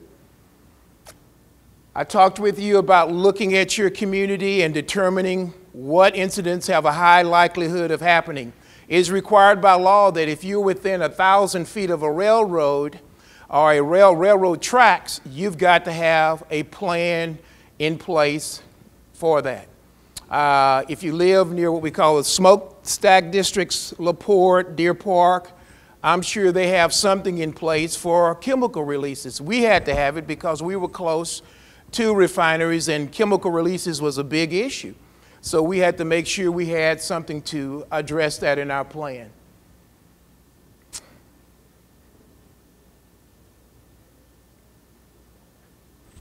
Let's talk about practicing. Why is practicing important? Um, one of them is to ensure effectiveness, efficacy. Uh, if you don't, if you have a plan but you never practice it, like the gentleman said in the back, then your people are not going to know what to do when an actual emergency does happen or take place. Uh, we know people do fire drills or most of our schools because it's required to do one a month. But what about some of the other drills? Lockdown, reverse evacuation drills. How many of you know what that is? Reverse evacuation drill. One person in the back, for example, if you have kids outside on the playground, chemical release, something happens where a train derails that has hazardous material on board, you've got to get the kids back inside and in a safe way. Enhanced coordination and effort. When you practice, your people are going to be able to work together, not in confusion. Uh, can you imagine an active shooter in a building and people scrambling? Uh, in the Columbine situation, they actually went into the cafeteria. Kids were literally running, and it was chaotic in that situation. Guys, you got to practice. And a lot of times, principals are busy. Uh, this gets left out. They'll do the fire drills because they're required, but the other drills, the lockdown drills, shelter in place. You've got to work with them to make sure that those drills are taking place Practice is going to also, you're going to find out if you have omissions and bugs and loopholes in your plan. You don't know if something is faulty or not up to par until you actually put it through some kind of scenario. Galena Pro, uh, uh, Park, rather, ISD, I want to give them uh, some compliment. Uh, Chief Clements out there, they did a full-blown um, exercise involving their first responders. They actually created an incident and had everybody uh, alerted to it. They had to notify their parents, students that they were going to do this, but they actually had a live scenario where they had an emergency take place that required first responders to come, and they were able to see on a large scale how their people would react. It's going to build confidence. So practice makes perfect, but practice also saves lives. Finally, if you've done all the other three P's, you've got a good plan, you've prepared them, you've practiced, then you're ready to perform with confidence, conciseness. The information uh, concerning active shooters, the FBI did a study in 2013 of 160 active shooter incidents. And here's what they found out that those incidents usually take place and end within two to five minutes. And they said in most cases, first responders, by the time they got there, the incident was already finished. So it's important to practice because the time will save lives. Also, they found out that 70% of the active shooter incidents happen in a place of commerce or business or in an educational setting. So, educational institutions and settings have a high propensity for active shooter incidents. That's what the data seems to suggest. So if you're going to walk the walk and be able to talk the talk, you've got to put in the effort, guys, and not overlook this important area. Finally, that gets to uh, responding is a part of that performing process. Expect to be surprised. Uh, even though you, you prepare, you practice, situations happen as a building principal, we knew that fights occur, something could happen uh, unexpectedly, and you have to react to it. But what a plan and practicing that plan does, it helps you to respond more confidently, more with clarity and conciseness. Uh, I'm going to try to see if we can. This particular lady, I'll set the stage for you. She was a teacher go back. In uh, Virginia. And one of her students came into the classroom with a gun and held the classmates and her hostage. But because evidently someone had worked with her, Police in northern West Virginia say a 14 year old boy is in custody after allegedly holding a teacher and 29 students hostage. The student took a pistol into a high school classroom on Tuesday afternoon. To a situation with a, a juvenile subject in a classroom with a gun. Uh, several officers responded. Many first responders were on scene throughout the event. Uh, I'd like to start by thanking all the educators who were on scene. They did an, an awesome job of evacuating the facility. School officials say the teacher did a miraculous job keeping the student calm. Authorities say the teacher convinced the boy not to let other students enter the room when they came for the next class. Those students alerted school officials about the situation. The town police chief negotiated with the boy. And ultimately were able to remove hostages from the classroom and subsequent to that were able to talk to the juvenile subject inside and have him surrender without incident. Nobody was hurt. Police did not identify the 14 year old student. A prosecutor says he could face charges. Sandy Kozel, The Associated Press. So, do you think possibly they had done some practice there? I think so. So, um, the point that I'm trying to leave with you, if you go away with anything, is don't take emergency planning for granted. That is being done at your campuses you have to have some type of system and process in place to ensure that it takes place and that it's done. We have a system uh, called ERIP, where you can actually look at a dashboard and know exactly where your schools are in terms of emergency planning. Uh, recovery, important part of the emergency planning process. How are you going to get your schools up and back to running again or get up, you know, back up to speed as quickly as possible? Uh, one of the things we tell you in, in recovery, particularly where you're dealing with death or suicide of one of the students, or maybe a death of the staff, is to take your time in this process. Make sure you spend time making sure everyone is back up to speed and is ready to get going again. Then some other thoughts is after every incident, we suggest you have and do a what's called a after action review, after action report, where you sit down, as the gentleman said in the back, sit down with your staff, whether it's at central office, central office working with the campus uh, personnel, and talk about what happened. I'm sure in that incident where the kid was stabbed, a lot of things happened. Some people lost their jobs uh, behind that incident.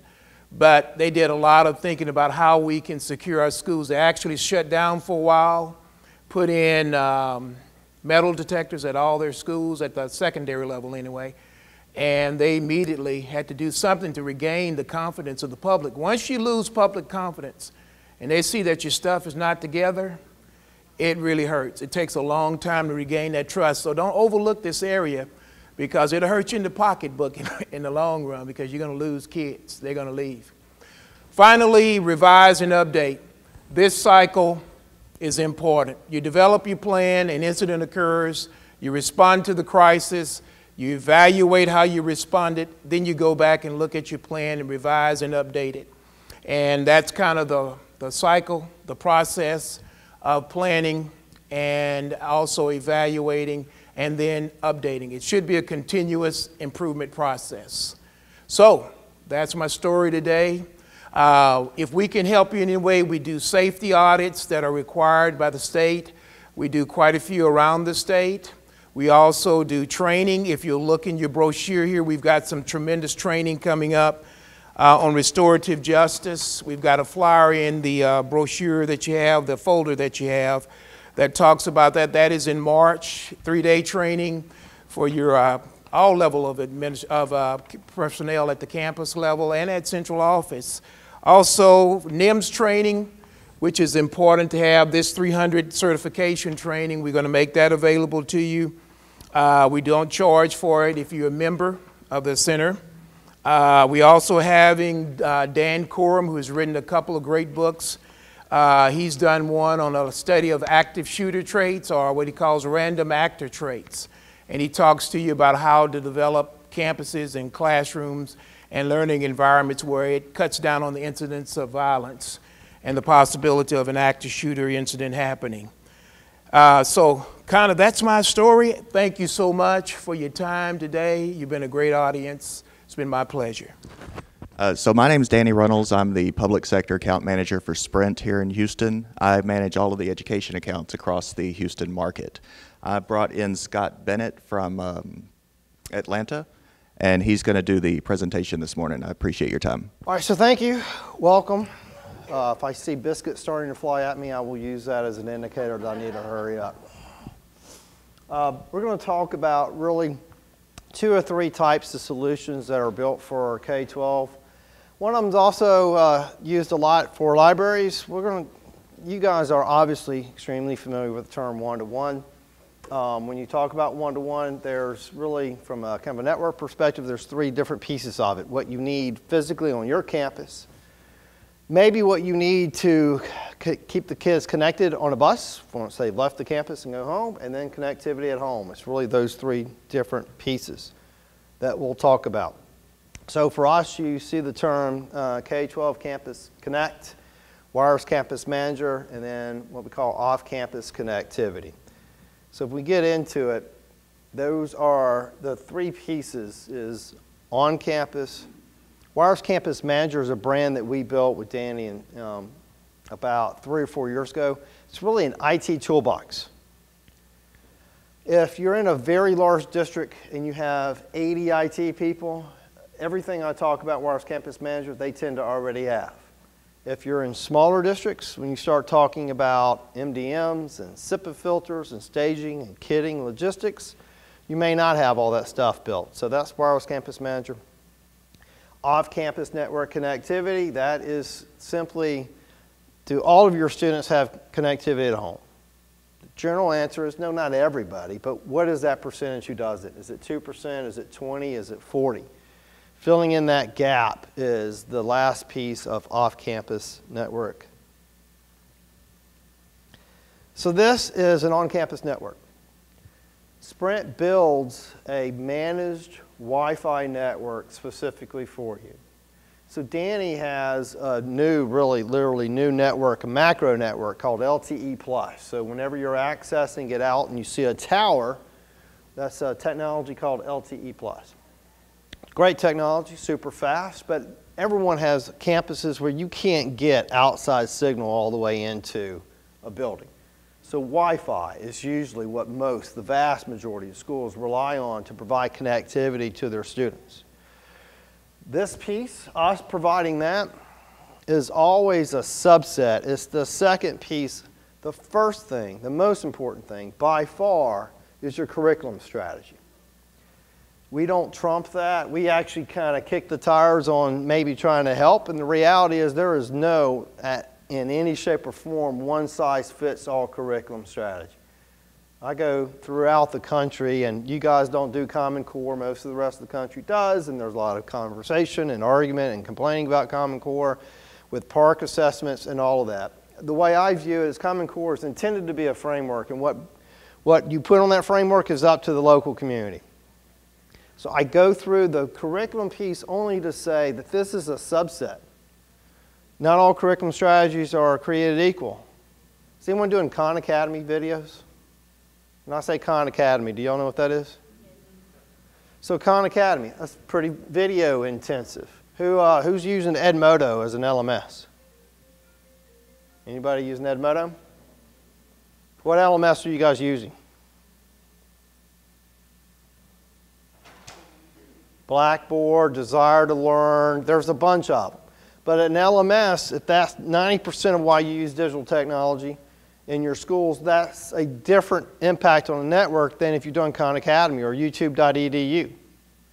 Uh, is everyone, I shouldn't say everyone, who's doing uh, GAF, Google Apps for Education? Anybody yet? So they have one called Classroom. A lot of people are using Google because they've got it all embedded, it's all in the cloud. The device is a lower cost. But all of those things are wrapped up in your specific curriculum. So what you need in network is a function of that. But I will come in. This was, we started this three years ago. This was really different. This was, we'll talk about E-rate for a second. This solution predated the new E-rate changes. So it used to be priority one, priority two. Well, now it's category one, category two. But there is a really important systemic change in E-rate, right?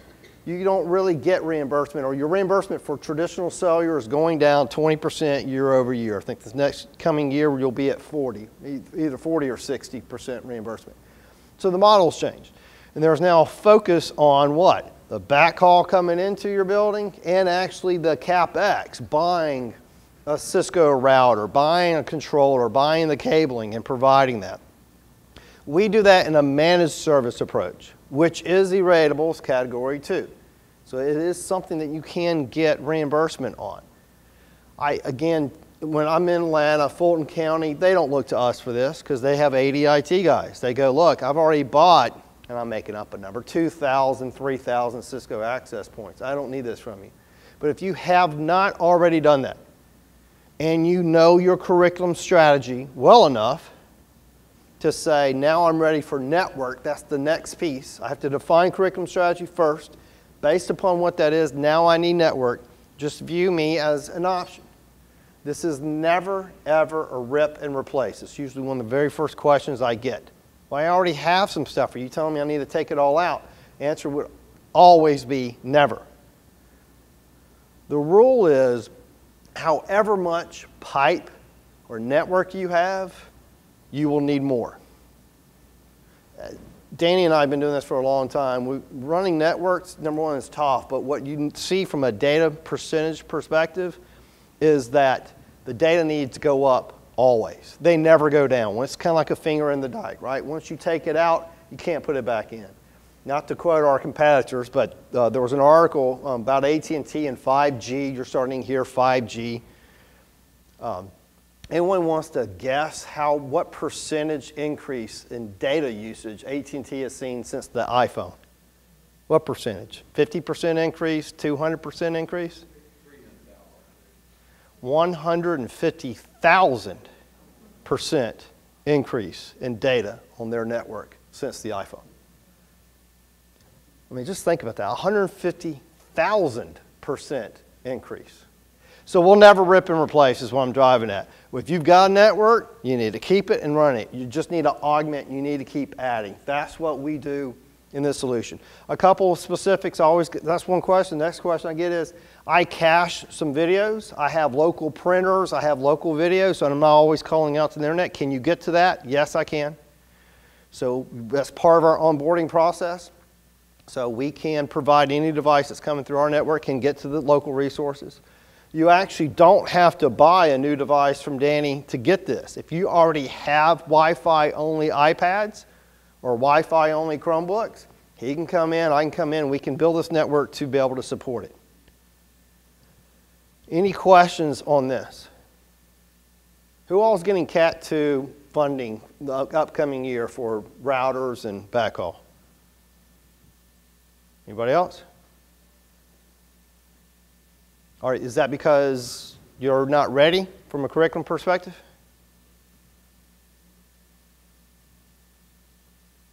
Okay. So if you're not ready, I will. Say, I asked that question very specifically. I sold. I won't say the district wasn't in Texas. We sold 2,000. I think Lenovo. I can't even remember what they were. 2,000 uh, mini laptops four years ago. Program lasted less than a year. And the reason was they were not, they didn't need them. They did not know what their curriculum strategy was. It was a, it wasn't an expensive paperweight because we subsidized it and it was, it was zero, but it was, they just sat there and literally, actually, they sat in a closet for 90 days because he did not have a, a, strategy. So what you will hear from me and Danny is this is cart in front of the horse unless your curriculum, unless your PD with teachers, all that stuff is ready. The next piece would be this.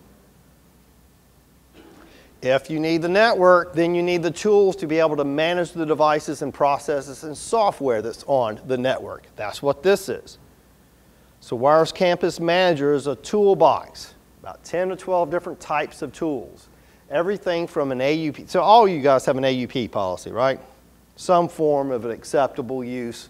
This is when you can use your phone, this is when you can't, this is what I expect you to do with it. So uh, if you don't, if you need help, we do AUP, so we call that foundation. But that's first piece. Uh, MDM, AirWatch, SOTI, Mobile Iron. These are software packages to be able to remotely manage the devices. Why does that matter? Well, if you have uh, kindergarten teachers who love a certain app, there are these little simple little bubble balloon apps, right? That if you're five, they're really neat. It tells you if you know you're adding correctly. Well, if you want a new one and you've got 500 devices deployed, you want 500 devices coming back to your IT guy to download the app? So that's what MDMs are for. It's to be able to remotely do that and push down new apps, push down new policies. CIPA filters. Everyone know what CIPA is? Children Internet Protection Act. You can't have a network that a child can go into inappropriate uh, websites on. So CIPA filter. So we use a company called Smoothwall. There's companies named Lightspeed, iBoss, lots of different CIPA filters. We glue all that together for districts or charter schools that don't have it already glued together. Same thing I said with Fulton. When I talked to Fulton, they go, I already have AirWatches and MDM, I already have iBoss as a CIPA filter. I don't need these. When I go to smaller charter schools who have no IT staff. Their IT staff is actually outsourced. They don't have all this, and they want this for me so they can get as close to off the shelf. This not truly off the shelf, meaning we always have to customize for the end customer to some degree. But this is a really close first step. Despite the fact that the penetration rates for wireless are over 100%, meaning that there's more phones in service than there are people in the US. Danny and I remember when the number was probably 5%. Now it's over 100%. That does not equate to every student having broadband access at home. Those are two different things. They may have a prepaid phone from Cricket, but they don't have uh, internet service from Cox or Charter or Comcast or whoever the local cable guy is. They need the broadband access to access the tools that you deliver to them at school. I, and I have been in Texas uh, for three days this week. So we started in San Antonio, went to um, uh, Kingsville, Kingsville, and then down to McAllen, then back up here. Everybody understands that, I should say everybody, the general premise is that we want to stay connected with the students after they leave. That's part of what digital curriculum is about. It's not just about traditional learning on campus. They can continue to learn when they go off. Now, exactly what does that mean? You define it. But generally speaking, at 100,000 foot, that's part of what's going on.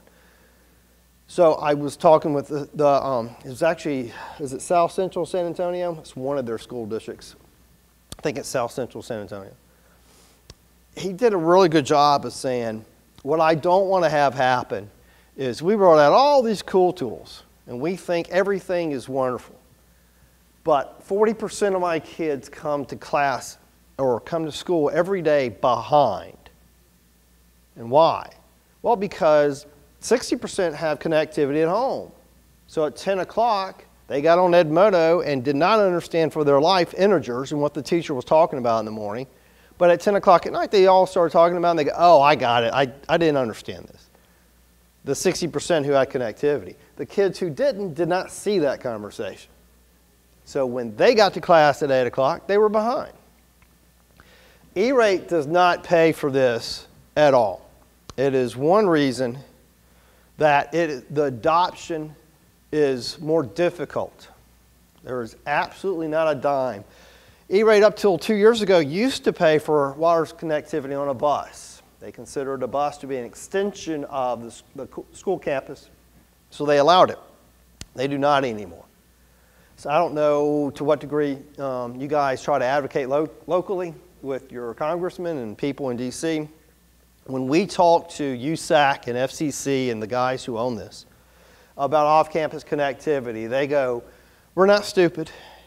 We understand. But we have limited funding. And you guys know this is funded with USF fees that are on your mobile, and it gets, their point is, unless someone wants to raise taxes, which no one does, the money is what it is. And right now, we want to focus on bringing in connectivity on campus. That's the first, most immediate need. We're not saying it's not important to stay connected, we're just saying we don't have the funding for it. So schools are trying to figure out this piece and the next piece on their own. And there are lots of different types of grants, and there are state grants in Texas. There are uh, more um, entrepreneurial type of grants, uh, Knight Foundation, the Walton family, to help. I had said there were two, three stages. This one's in the middle. If your students are on a bus for a long time, having connectivity has some value. I met with, uh, I think it was San Antonio. Um, I don't know if, I think it was, it was South Central. He said our average ride is about 15 minutes. Then you don't need to invest in providing Wi-Fi on the bus for 15 minutes. If students are on a bus for an hour, you do. I, um, in Kingsville, his point was, I want it to uh, prevent, I'm trying to think politically how to say it, um, nonviolent activity on the bus. He, he was having discipline issues. So he was going, look, if I can get their mind on something else while they're riding, I'm not having to have a discipline issue every morning whenever buses are coming in or every afternoon when they're going out. Um, this is, I just have a picture up there. We, Danny, we physically, there's a piece of hardware called a router that we would put on the bus that would basically spit out Wi-Fi. So if you kind of thought the router right here, to the right would be Wi-Fi, so any device the student had, their own smartphone, a device that you provided them would access that router. The backhaul on this side would be on his LTE Plus network. So it's basically a mobile hotspot that goes in, in the school bus. Municipalities do this a lot. So if you ride a municipal bus, most of them have, I shouldn't say most, in large cities, most of them now have Wi-Fi. That's what's happening, is that there's a router that they bought from us. We're backhauling it out, and their people riding the bus get free access. This is more for students. The last piece, the third piece, is what I've alluded to, which is connectivity at home. Uh, honestly, I'm seeing libraries move faster on this than schools. And again, it kind of gets back to funding. Um, not that libraries have more funding, but they can move a little bit quicker in smaller volumes. Meaning, I was in Ohio last week. Uh, Cleveland Public Library has 27 branches. If they get 20 devices per branch, that's a start for them. So, but that's 500. It's not too many school districts getting 500 out of the gate. Um, we start talking about um, equity issues. If I only get some, who do I give it to? What's the most equitable way to decide who do I give it to? How do I keep one campus from getting mad, or one set of parents getting mad at another set of parents because these kids got access and these kids didn't. There are lots of complexities to it. Our solution, the role we play, is similar to ours campus manager. It's the execution of this deployment. What does that mean? It means things like this. Um, what SSID do you want coming out of that hotspot? See, when I say hotspot, y'all know what I'm, those little hockey puck sized devices, right? So on the bus, they're bigger. On the bus, they're this big and 50 people can hit it. A hotspot, smaller, hockey puck size, and maybe nine people can hit it. Schools will say, all right, SSID. At home, my SSID, I never changed it. So it's like AXQIZ4772. Well, I know what that means. Schools go, I want it to say Houston ISD. So can you change that for me? Yeah, that's something I'll do. All right, what about a hotspot? Like I said, just let, they'll let nine people, anybody who sees it and knows the password can hit it. That's not what a school wants. A school may need only a gig to two gigs of data in order from a curriculum perspective for it to have value. You have no desire, or at least almost there's no school I've taught to who wants to pay for a kid to watch the Super Bowl on the device that they handed them. So that gets into a CIPA filter that keeps them off of entertainment sites. It gets into an MDM that can kiosk the device. It's those types of things. But the point is, I only need a gig to two gigs. I don't need unlimited. That's also a funding issue. Unlimited is something around 35, 40 bucks a month. School will start doing the math and go, I don't have 35 times 12 times 2,000. That, I don't have anything around that. Can you do something closer to 10 times 12 times some number? Well, if I'm talking about a gig or two gigs of data, yeah. And in a CIPA filtered world where you can't get to the Super Bowl, that makes sense. What they ask us in customization is, but hold on, that hotspot, didn't you say anyone can access it? Well, they can, but I can stage it in a way that they can't. You'll hear a term called MAC ID It's basically a number that sits inside a device. We can put that in the hotspot and tell that hotspot that's the only device you can see. So even though when they turn on that hotspot, no one else can see it. The only thing that can see it is the iPad you gave to the student or the Chromebook that you gave to the student. So now that prevents Uncle Billy from hammering on the hotspot at 2 a.m. Those are the types of things that we get to relative to what we call onboarding and staging in order to allow you to be able to start down that path. Most schools here are, and why I talk so much about library, they're doing it out of their libraries first. They can't really afford, even at a campus level, to say, well, I've done the survey and 22% of my students don't have connectivity at home. That equates to 600 for this campus. They usually go, I, even at 10, I can't afford 600 times 10 times 12 months or 24 months. So what they come back to is go, but I can get 30 to 50 for the library. And surprisingly, one of the first things that people do in that model is to say, the main intent of those 30 or 50 are for the football team, baseball team, cheerleaders, chorus, debate team, anyone who's going off campus for a school event. And they don't have connectivity, I'll provide it to them. That makes a lot of sense, right? Because they go, look, I've built them an on campus network, so I've given them that. But if they left school at 10 o'clock to go to a, a school event, I'm just basically letting a network follow them. It's a pretty good line of thought. It helps with the fairness and equity of it. You didn't pick a STEM school or you didn't pick a certain, said, I can do it at this campus, but not that. You say, I'm doing it at all campuses, but it's out of the library. You, got, you literally have to check it out, and it's really only for when the football team leaves at 12 o'clock on Friday because they got to go to a game. So, just one thought relative to how some schools are approaching this. So, that's really it. I think I've even inside of 30 minutes. So, to recap, it's really three things for us. It's after you've defined your curriculum strategy, then we come in and say, how much on campus network do you have? How much do you need? If you need more, we can do it in managed service. Once you have enough on campus network, do you need to keep kids connected when they're in your bus, when they're going away? I can put them in one of these big routers and let 50 people access it. Then the last piece is all right, how many kids don't have connectivity at home? If you need connectivity at home, I can provide that as well. Any questions? Was that too fast? Or maybe we went a little bit too fast. I didn't see any biscuits coming at me, so I thought maybe I should maybe slow down. Any questions? Going once, going twice? All right, well, thank you very much. Appreciate it. Uh, I'm Jonathan Blackwell with ABM, and this is my colleague Dr. Roy, also with ABM. And we're going to talk to you just about a few trends that school districts are facing nowadays with rising costs, specifically energy, because we can have a huge impact on reducing that for you. And then we'll talk about solutions, but not necessarily our solutions. It's just Texas legislation. We just know how to use that legislation to get things done for you guys.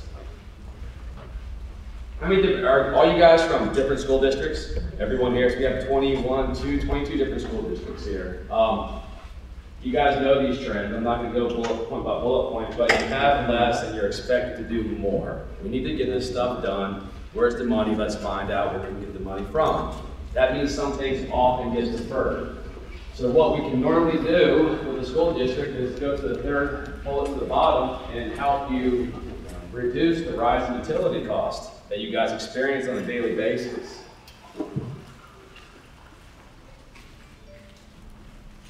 What this is right here is a report from the U.S. Green Building Council. It just states that schools have deferred maintenance. They're not getting to the things that they need to fix, i.e. your HVAC, a huge consumer of energy. So it gets older and older, kind of like an old car, right? The older it is, the worse the miles per gallon you get. Um, but also it states that 25% of your energy cost can be avoided. I had no idea. Our colleague Dan, out sick today, although I swore I heard someone say four in the background when he called me this morning. Um, Harris County's huge. You guys have a lot of schools. The 800,000 students, that's, uh, there's some countries there, that's really big. So, with that being said though, um, there's potential for a lot of improvements to be had there. But one thing that's also impacting Houston, the economy, and I wish I was here for the Exxon presentation, but oil has a big impact on us. And oil, mean, this was done two days ago, but actually as of yesterday, oil's at 30, we started $27 a barrel, which is decreasing, right? So that means you're still stuck with doing more with less. You're not getting additional revenues. Your taxes are being impacted. So how can we help you out? One more, and I think we'll get to the meat and potatoes, no pun intended. But um, you know, K through 12 is eight billion dollars a year. That's a big number when you write it out. It's a lot of zeros. It's the second highest operating expense outside of your salaries, your colleagues' salaries. Um, but it's one that you can actually control and reduce. But by reducing it, you'll improve your facilities. You reduce someone's salary, you're, you're not going to get improved performance. You're going to get some disgruntled people. You reduce your utility spend, that's good for everybody. So how do we do this? Well, what we look to do is fund the gap. Your resource demands are increasing, revenues, sorry, resources are increasing, revenues are decreasing. We look to fill the gap. The analogy I'll use is, say you guys have a hundred dollar a month energy bill, or I, I wish, right? But hundred dollars a month. What if someone came to you and goes, you know what? You're spending hundred dollars a month because you, you have all this old stuff. You have old lighting, old HVAC. Uh, you can't control your HVAC remotely or with any controls whatsoever. What if I can make that hundred dollars go to seventy, and out of that seventy, I'll take twenty of it on a monthly basis and guarantee that you'll reach these savings annually. And you put that remaining ten dollars in your pocket. That's what we do with school districts. And you do that by looking at everything from the gentleman from Sprint talked about, looking at the Internet of Things, how to make you guys get real-time data to really see what you are doing on a daily basis. Because you really can't improve what you can't measure. And you can't manage what you can't measure and monitor. So let's give you guys the technology available to see what your facilities are doing. Let's upgrade your lighting. Let's give you a more efficient uh, HVAC units throughout your school district. And that's how we collectively, by bundling all these things together, that's how we're able to achieve these 15 to 40% enhancements or reductions in your energy spend. Here's a pretty little visual that Dan put together for us is, you know, your before picture represents your current utility spend. Your second one is is how we're to reduce it. We're going to drop that orange down by about 20%, and the remaining top percent is what we're going to use to fund the project. Now, on the third bullet, you're going to see Texas Education Code 44.901. That states that a Texas Independent School District can enter into a performance contract as long as there's a guarantee tied to that contract. So we can go in there, work with you guys, assess the financials, work with your facilities team, look at your facilities, and then come back to you and say, based upon your utility spend, based upon what we've identified on our survey, we can take your annual bill from a million dollars down to $700,000. And we're going to use that difference to fund the project, and we're going to guarantee you that you will achieve these savings. And if you don't, we have to write you a check for the difference. So the school gets new equipment, new lighting, new thermostats, some things that may not have a payback, but they were able to be bundled into this project. You don't pay for it out of capital. It's fully funded through the savings.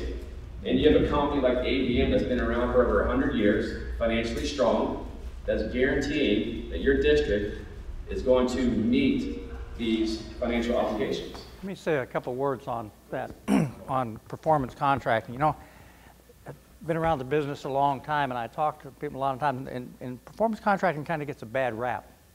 I'm not exactly sure why, but let's kind of put it in perspective. If we do a performance contract and say we find you 2% money, okay? All right, what happens then is you're going to pay back that loan, and because of the energy savings, you realize you, you actually put money in the general fund in most instances and you upgrade the equipment. If you do a bond election, what happens is you get 2% money, but you have to go through an election. You have to make everybody, all the taxpayers mad. You don't have to do that with a performance contract. The other thing about it is, is with the performance contract, you get the guarantee. You get no guarantee if you do a bond election on those savings. The same thing is true if we'll talk to people and they say, we'll just do the work ourselves. And what we usually say is, well, why haven't you done it yet? Okay? Because what happens is, is that we have a tendency to continue doing what we've been doing, and that's to defer maintenance. You know, you guys operating on the, on the finance side, each and every one of you finds this question know the answer. I say, if you find out you have somebody stealing from you, you fire them that day. All right? Okay? Deferred maintenance on energy steals from you every day. We're talking to a district in West Texas, when we get into specifics, that's losing is it 5,000 a day or $6,000 a day lost because they're not upgrading their equipment. So when you think about that, and, and one thing about Harris County, these are large school districts, so for most of you, the, the energy savings would be significant. So the, the point that I make on that is the guarantee is huge. The other point of that is that you, you can find out about what the savings can be pretty simply. What we do is we come in, you know, first thing we're going to do is we're going to take a look at your bills. We get a year or two uh, monthly bills. We'll look at those. We have a spreadsheet we use, and we'll do a factor analysis on that. And we say, yeah, we think we can save this amount. Then, if you're in agreement, we'll come back to you and say, okay, we want to do an investment grade audit. Now, to this point in time, you have no skin in the game at all. So, to find out going forward, when you get the investment grade audit, what we will say is, all right, if we come back with the investment grade audit and we say we can save you this amount, and then you decide not to go forward with savings, and we say, okay, you're on the hook for the audit, okay, an amount that's determined in advance. Now, that kind of makes sense because why would you not go forward if you have a stated uh, guarantee that you're going to make this amount of savings? We've never had anybody do that, but that's out there. Now, there are some other entities that do some of this kind of work that have gone forward, and because school districts found out after the fact that they didn't provide the guarantee, some of those folks have backed away from, from that and paid the audit and, and just done it. Yeah, you can always do a traditional project, right? There's nothing stopping you from working with a local GC, mechanical contractor, electrician. You'll kind of do it yourself or have someone manage that for you.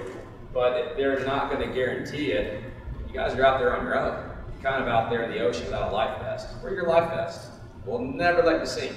Because if you start sinking, then that means we did a bad job on our audit, and we need to write you a check for the difference.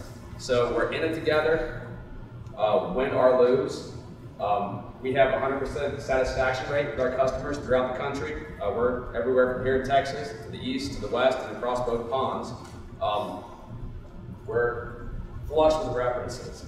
12,000 employees in Texas. Very big company.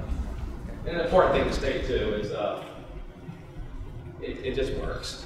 If we can identify a project, be it us or someone else that you're working with, it's the, pro- the program is out of Austin. They said schools don't have capital, but they have waste. Let's use that waste to fund these projects. So if you guys are looking at ways to free up funding to get things done without having to utilize capital, performance contracting may be a route for you guys to go. Think, think about this too, guys, that what, what happens is if you go out and you, and you do a bond and then you're, you're paying architects, you're paying engineers, and they're going out and they're subbing all this out. I can tell you from my experience as a superintendent, you know, many occasions where I found out that those subcontractors who didn't do a very good job don't even exist anymore. Okay? Not only that, they don't exist, you can't find a forwarding address or a burial plot for them. Okay? So what happens with this going forward, realize that ABM, we don't farm this stuff out, we actually do the work. Okay? ABM will come in and, and actually replace the equipment, the guarantees. And when they do the energy upgrades on that, the other thing that we do is recommission all of that HVAC equipment. Okay?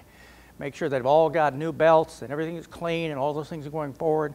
Because one of the problems you have is you can put new equipment in, and how many of you run into this? You had a new project, you did build a school with bond money, and you found out because of the way it was, the implementation of that and the, and the commissioning of the equipment wasn't done very well, and it's not operating efficiently. We'll come back and make sure that that's, for us, that's part of it. We have to make sure those savings are We're there. incentivized because if we don't do a good job even post project, it's going to turn into us writing a check for the difference. We're not in the business to write checks. We are in the business to make money, but we make money by delivering phenomenal projects to public entities and private entities. But I think this is the, that was, that was the last slide. So that's it for us. If you guys have any questions, I'd love to stick around and talk to you for a moment. Um, Dr. Roy handed out our cards. If you want to reach out to us, feel free to at any time. And um, thank you for sitting, thank you for staying awake. That was a big lunch you guys were eating. I was scared. You guys are going to fall asleep. But thank you for your time and attention. I I appreciate the respect. I am uh, a member of the Texas uh, um, State Board of uh, a committee on that reviews uh, GASB exposure drafts. So I received two exposure drafts uh, that they're co- contemplating going into effect probably next year. And so what I did is I just put a, a few highlights in your GASB update. One of them deals with fiduciary funds, and the other one deals with um, asset retirement obligations. And we'll talk a little bit about that, uh, you know, what, what that is. It just seems like another entry, another things that we have to, to record at year end. So, what I've been asked, uh, we're about a, a committee of about 10 people, and so we all get assigned about 10 pages of the exposure draft so we can comment and provide uh, uh, responses to the, uh, to, the, uh, to the exposure draft. Now, I did not give you the entire exposure draft, but if you want to have a copy of it, it's about 60 pages each. I'll have it available and I can send it to you electronically. And if you have nothing to read in a, in, in a uh, Valentine's Day, so you can start reading uh, GASB, the next GASB update. So uh, I'll tell you why they're recommending it and how they're ab about to uh, implement it. So the first one deals with um, fiduciary funds, and I just gave you a little bit about GASB, what their, what, what their uh, purpose is to uh, review standards and make uh, users uh, of financial reports and to educate the stakeholders. So the first one deals with a proposed statement of four fiduciary funds which would be required to be reported if required. The first one is pension. Well, we don't have pension. We include that in the, government-wide, so we don't. I don't think we're gonna have to do that uh, uh, because we don't have a separate pension uh, for for the organization. So, investment trust funds, if you happen to have those, private purpose trust funds, and then the last one that we have uh, tentatively like to be called agency funds, and now they're custodial funds. Uh, so the new name uh, of the fund will be custodial fund. What are the criteria to identify as a fiduciary fund is if the government controls the assets of the activity and one or more of the criteria is identified. One, you have a trust agreement. Two, um, you have uh, um, not, no, none of the individuals are required or residents uh, to be a beneficiary of the activity. Number three, neither of the financial reported entity of the residents will receive the goods or services. And uh, if it's a grant, a pass-through does not, uh, does not have administrative or direct financial involvement in the program. So if the government controls the assets of the activity, then also you have uh, a fiduciary activity there. And then the last one covers any component units that you may have associated with the fiduciary activity. So, yes? How does this relate to uh, student activity fund? Well, that's the name of the, of the new fund called custodial. Uh, but we, I don't have an agreement with anybody. No. Uh, uh, none of our campuses. I mean, no, if you, but if you control the assets, you can place them in the fiduciary activity. Uh, that they wanted to identify the criteria of placing it in a business activity or a fiduciary activity.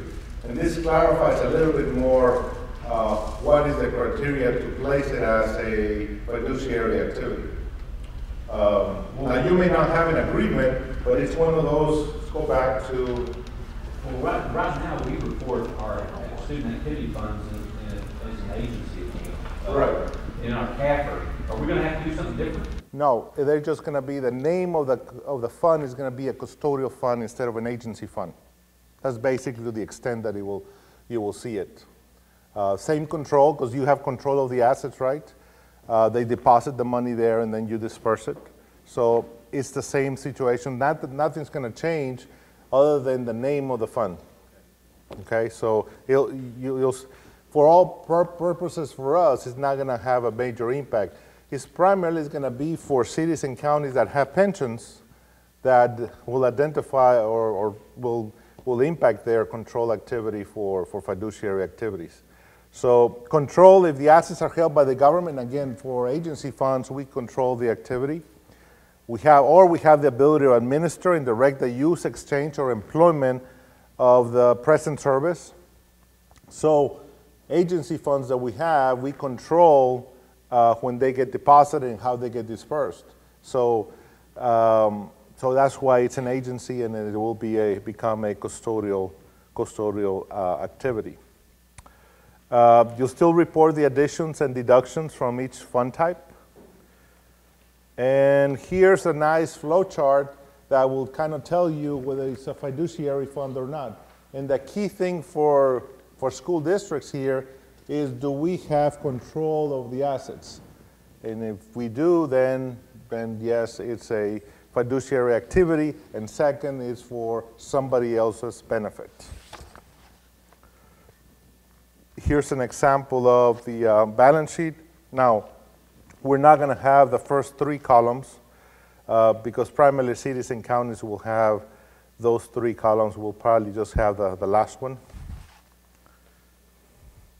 And statement of changes in fiduciary net position, again, the, the custodial uh, activity at the, at the very end. So, again, it was very, just a, a highlight, uh, not many changes, at least for school districts, uh, uh, other than the name of the custodial activity. One of the things that uh, there was a question is that people that thought about a, an agency fund, they thought that we, they were an agent of the organization. And so they wanted to change the name from an agency fund to a custodial fund. Easier to explain. It seems like to me, it's easier to explain. Yeah. We're about your student activity funds, holding that as, as custodial for Yeah. districts. They're on their, you know, Not- they're, it's on their behalf. Yeah. Right. So it's really a clarification of, of some of the previous activities. Um,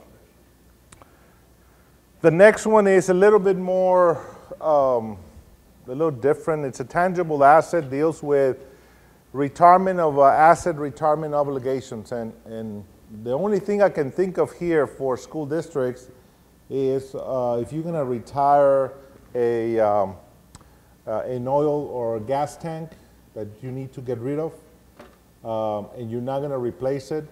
So then there's going to be a liability associated with, with that activity. And so the only, that's the only thing I can think of for a, for a school district. But here's some uh, definitions that you need to uh, think about.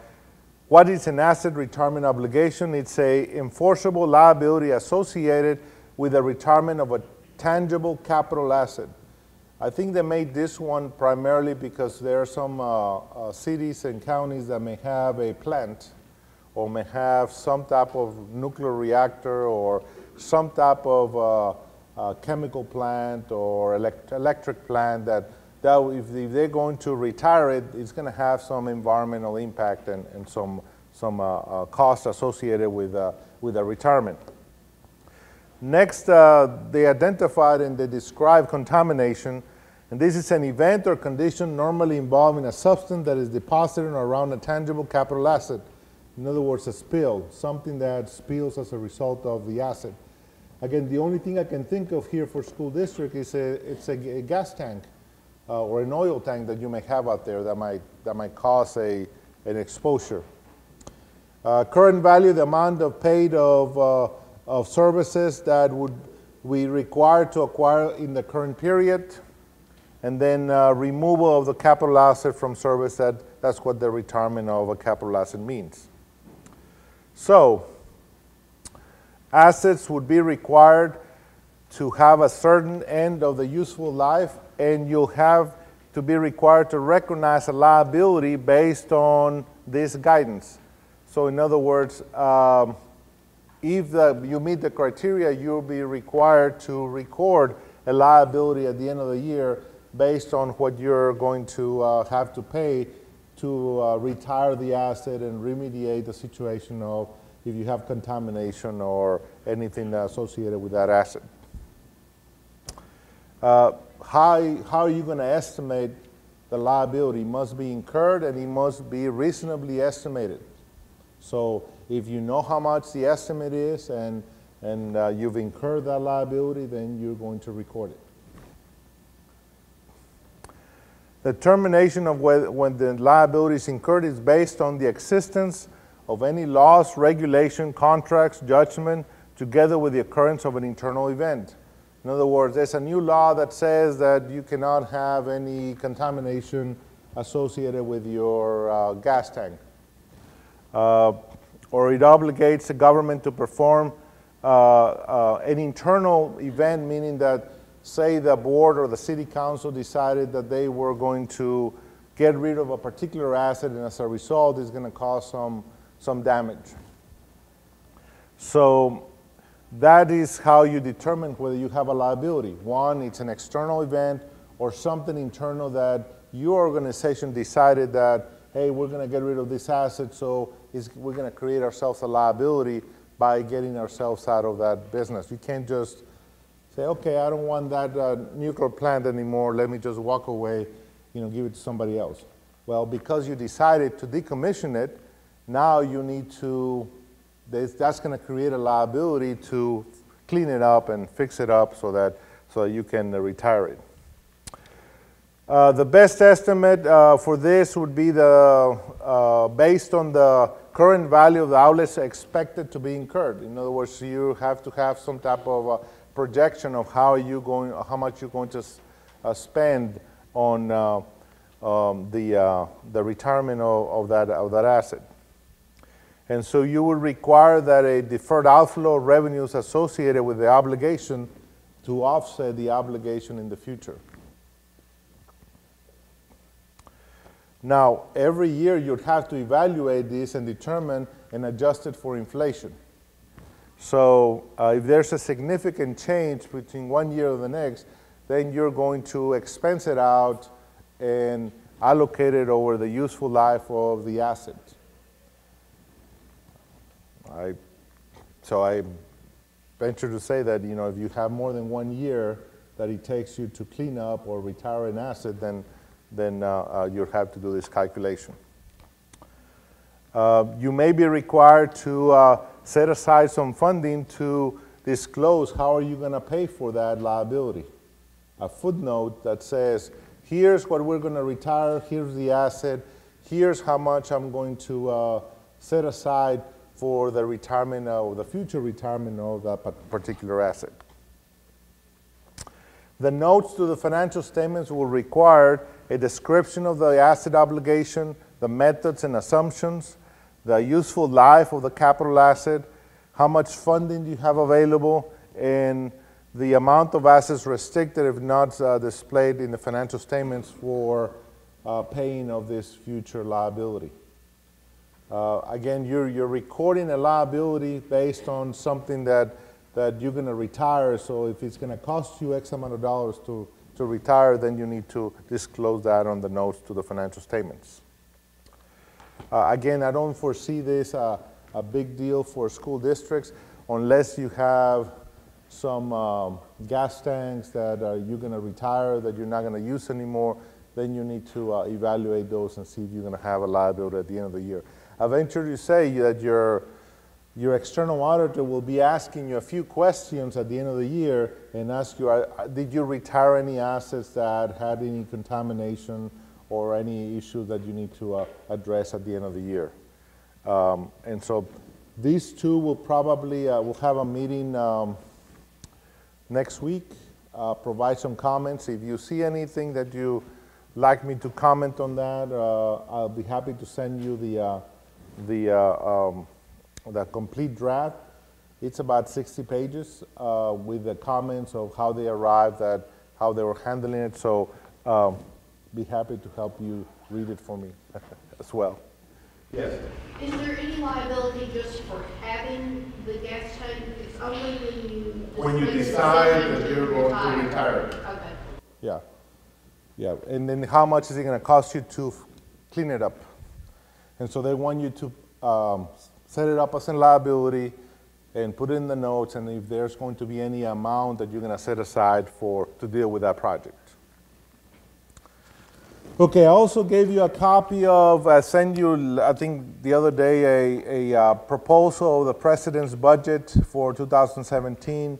Um, looks like they might enhance a little bit of the Title I money, a little bit of uh, education and uh, after-school programs, and, and also uh, some um, Head Start uh, uh, costs.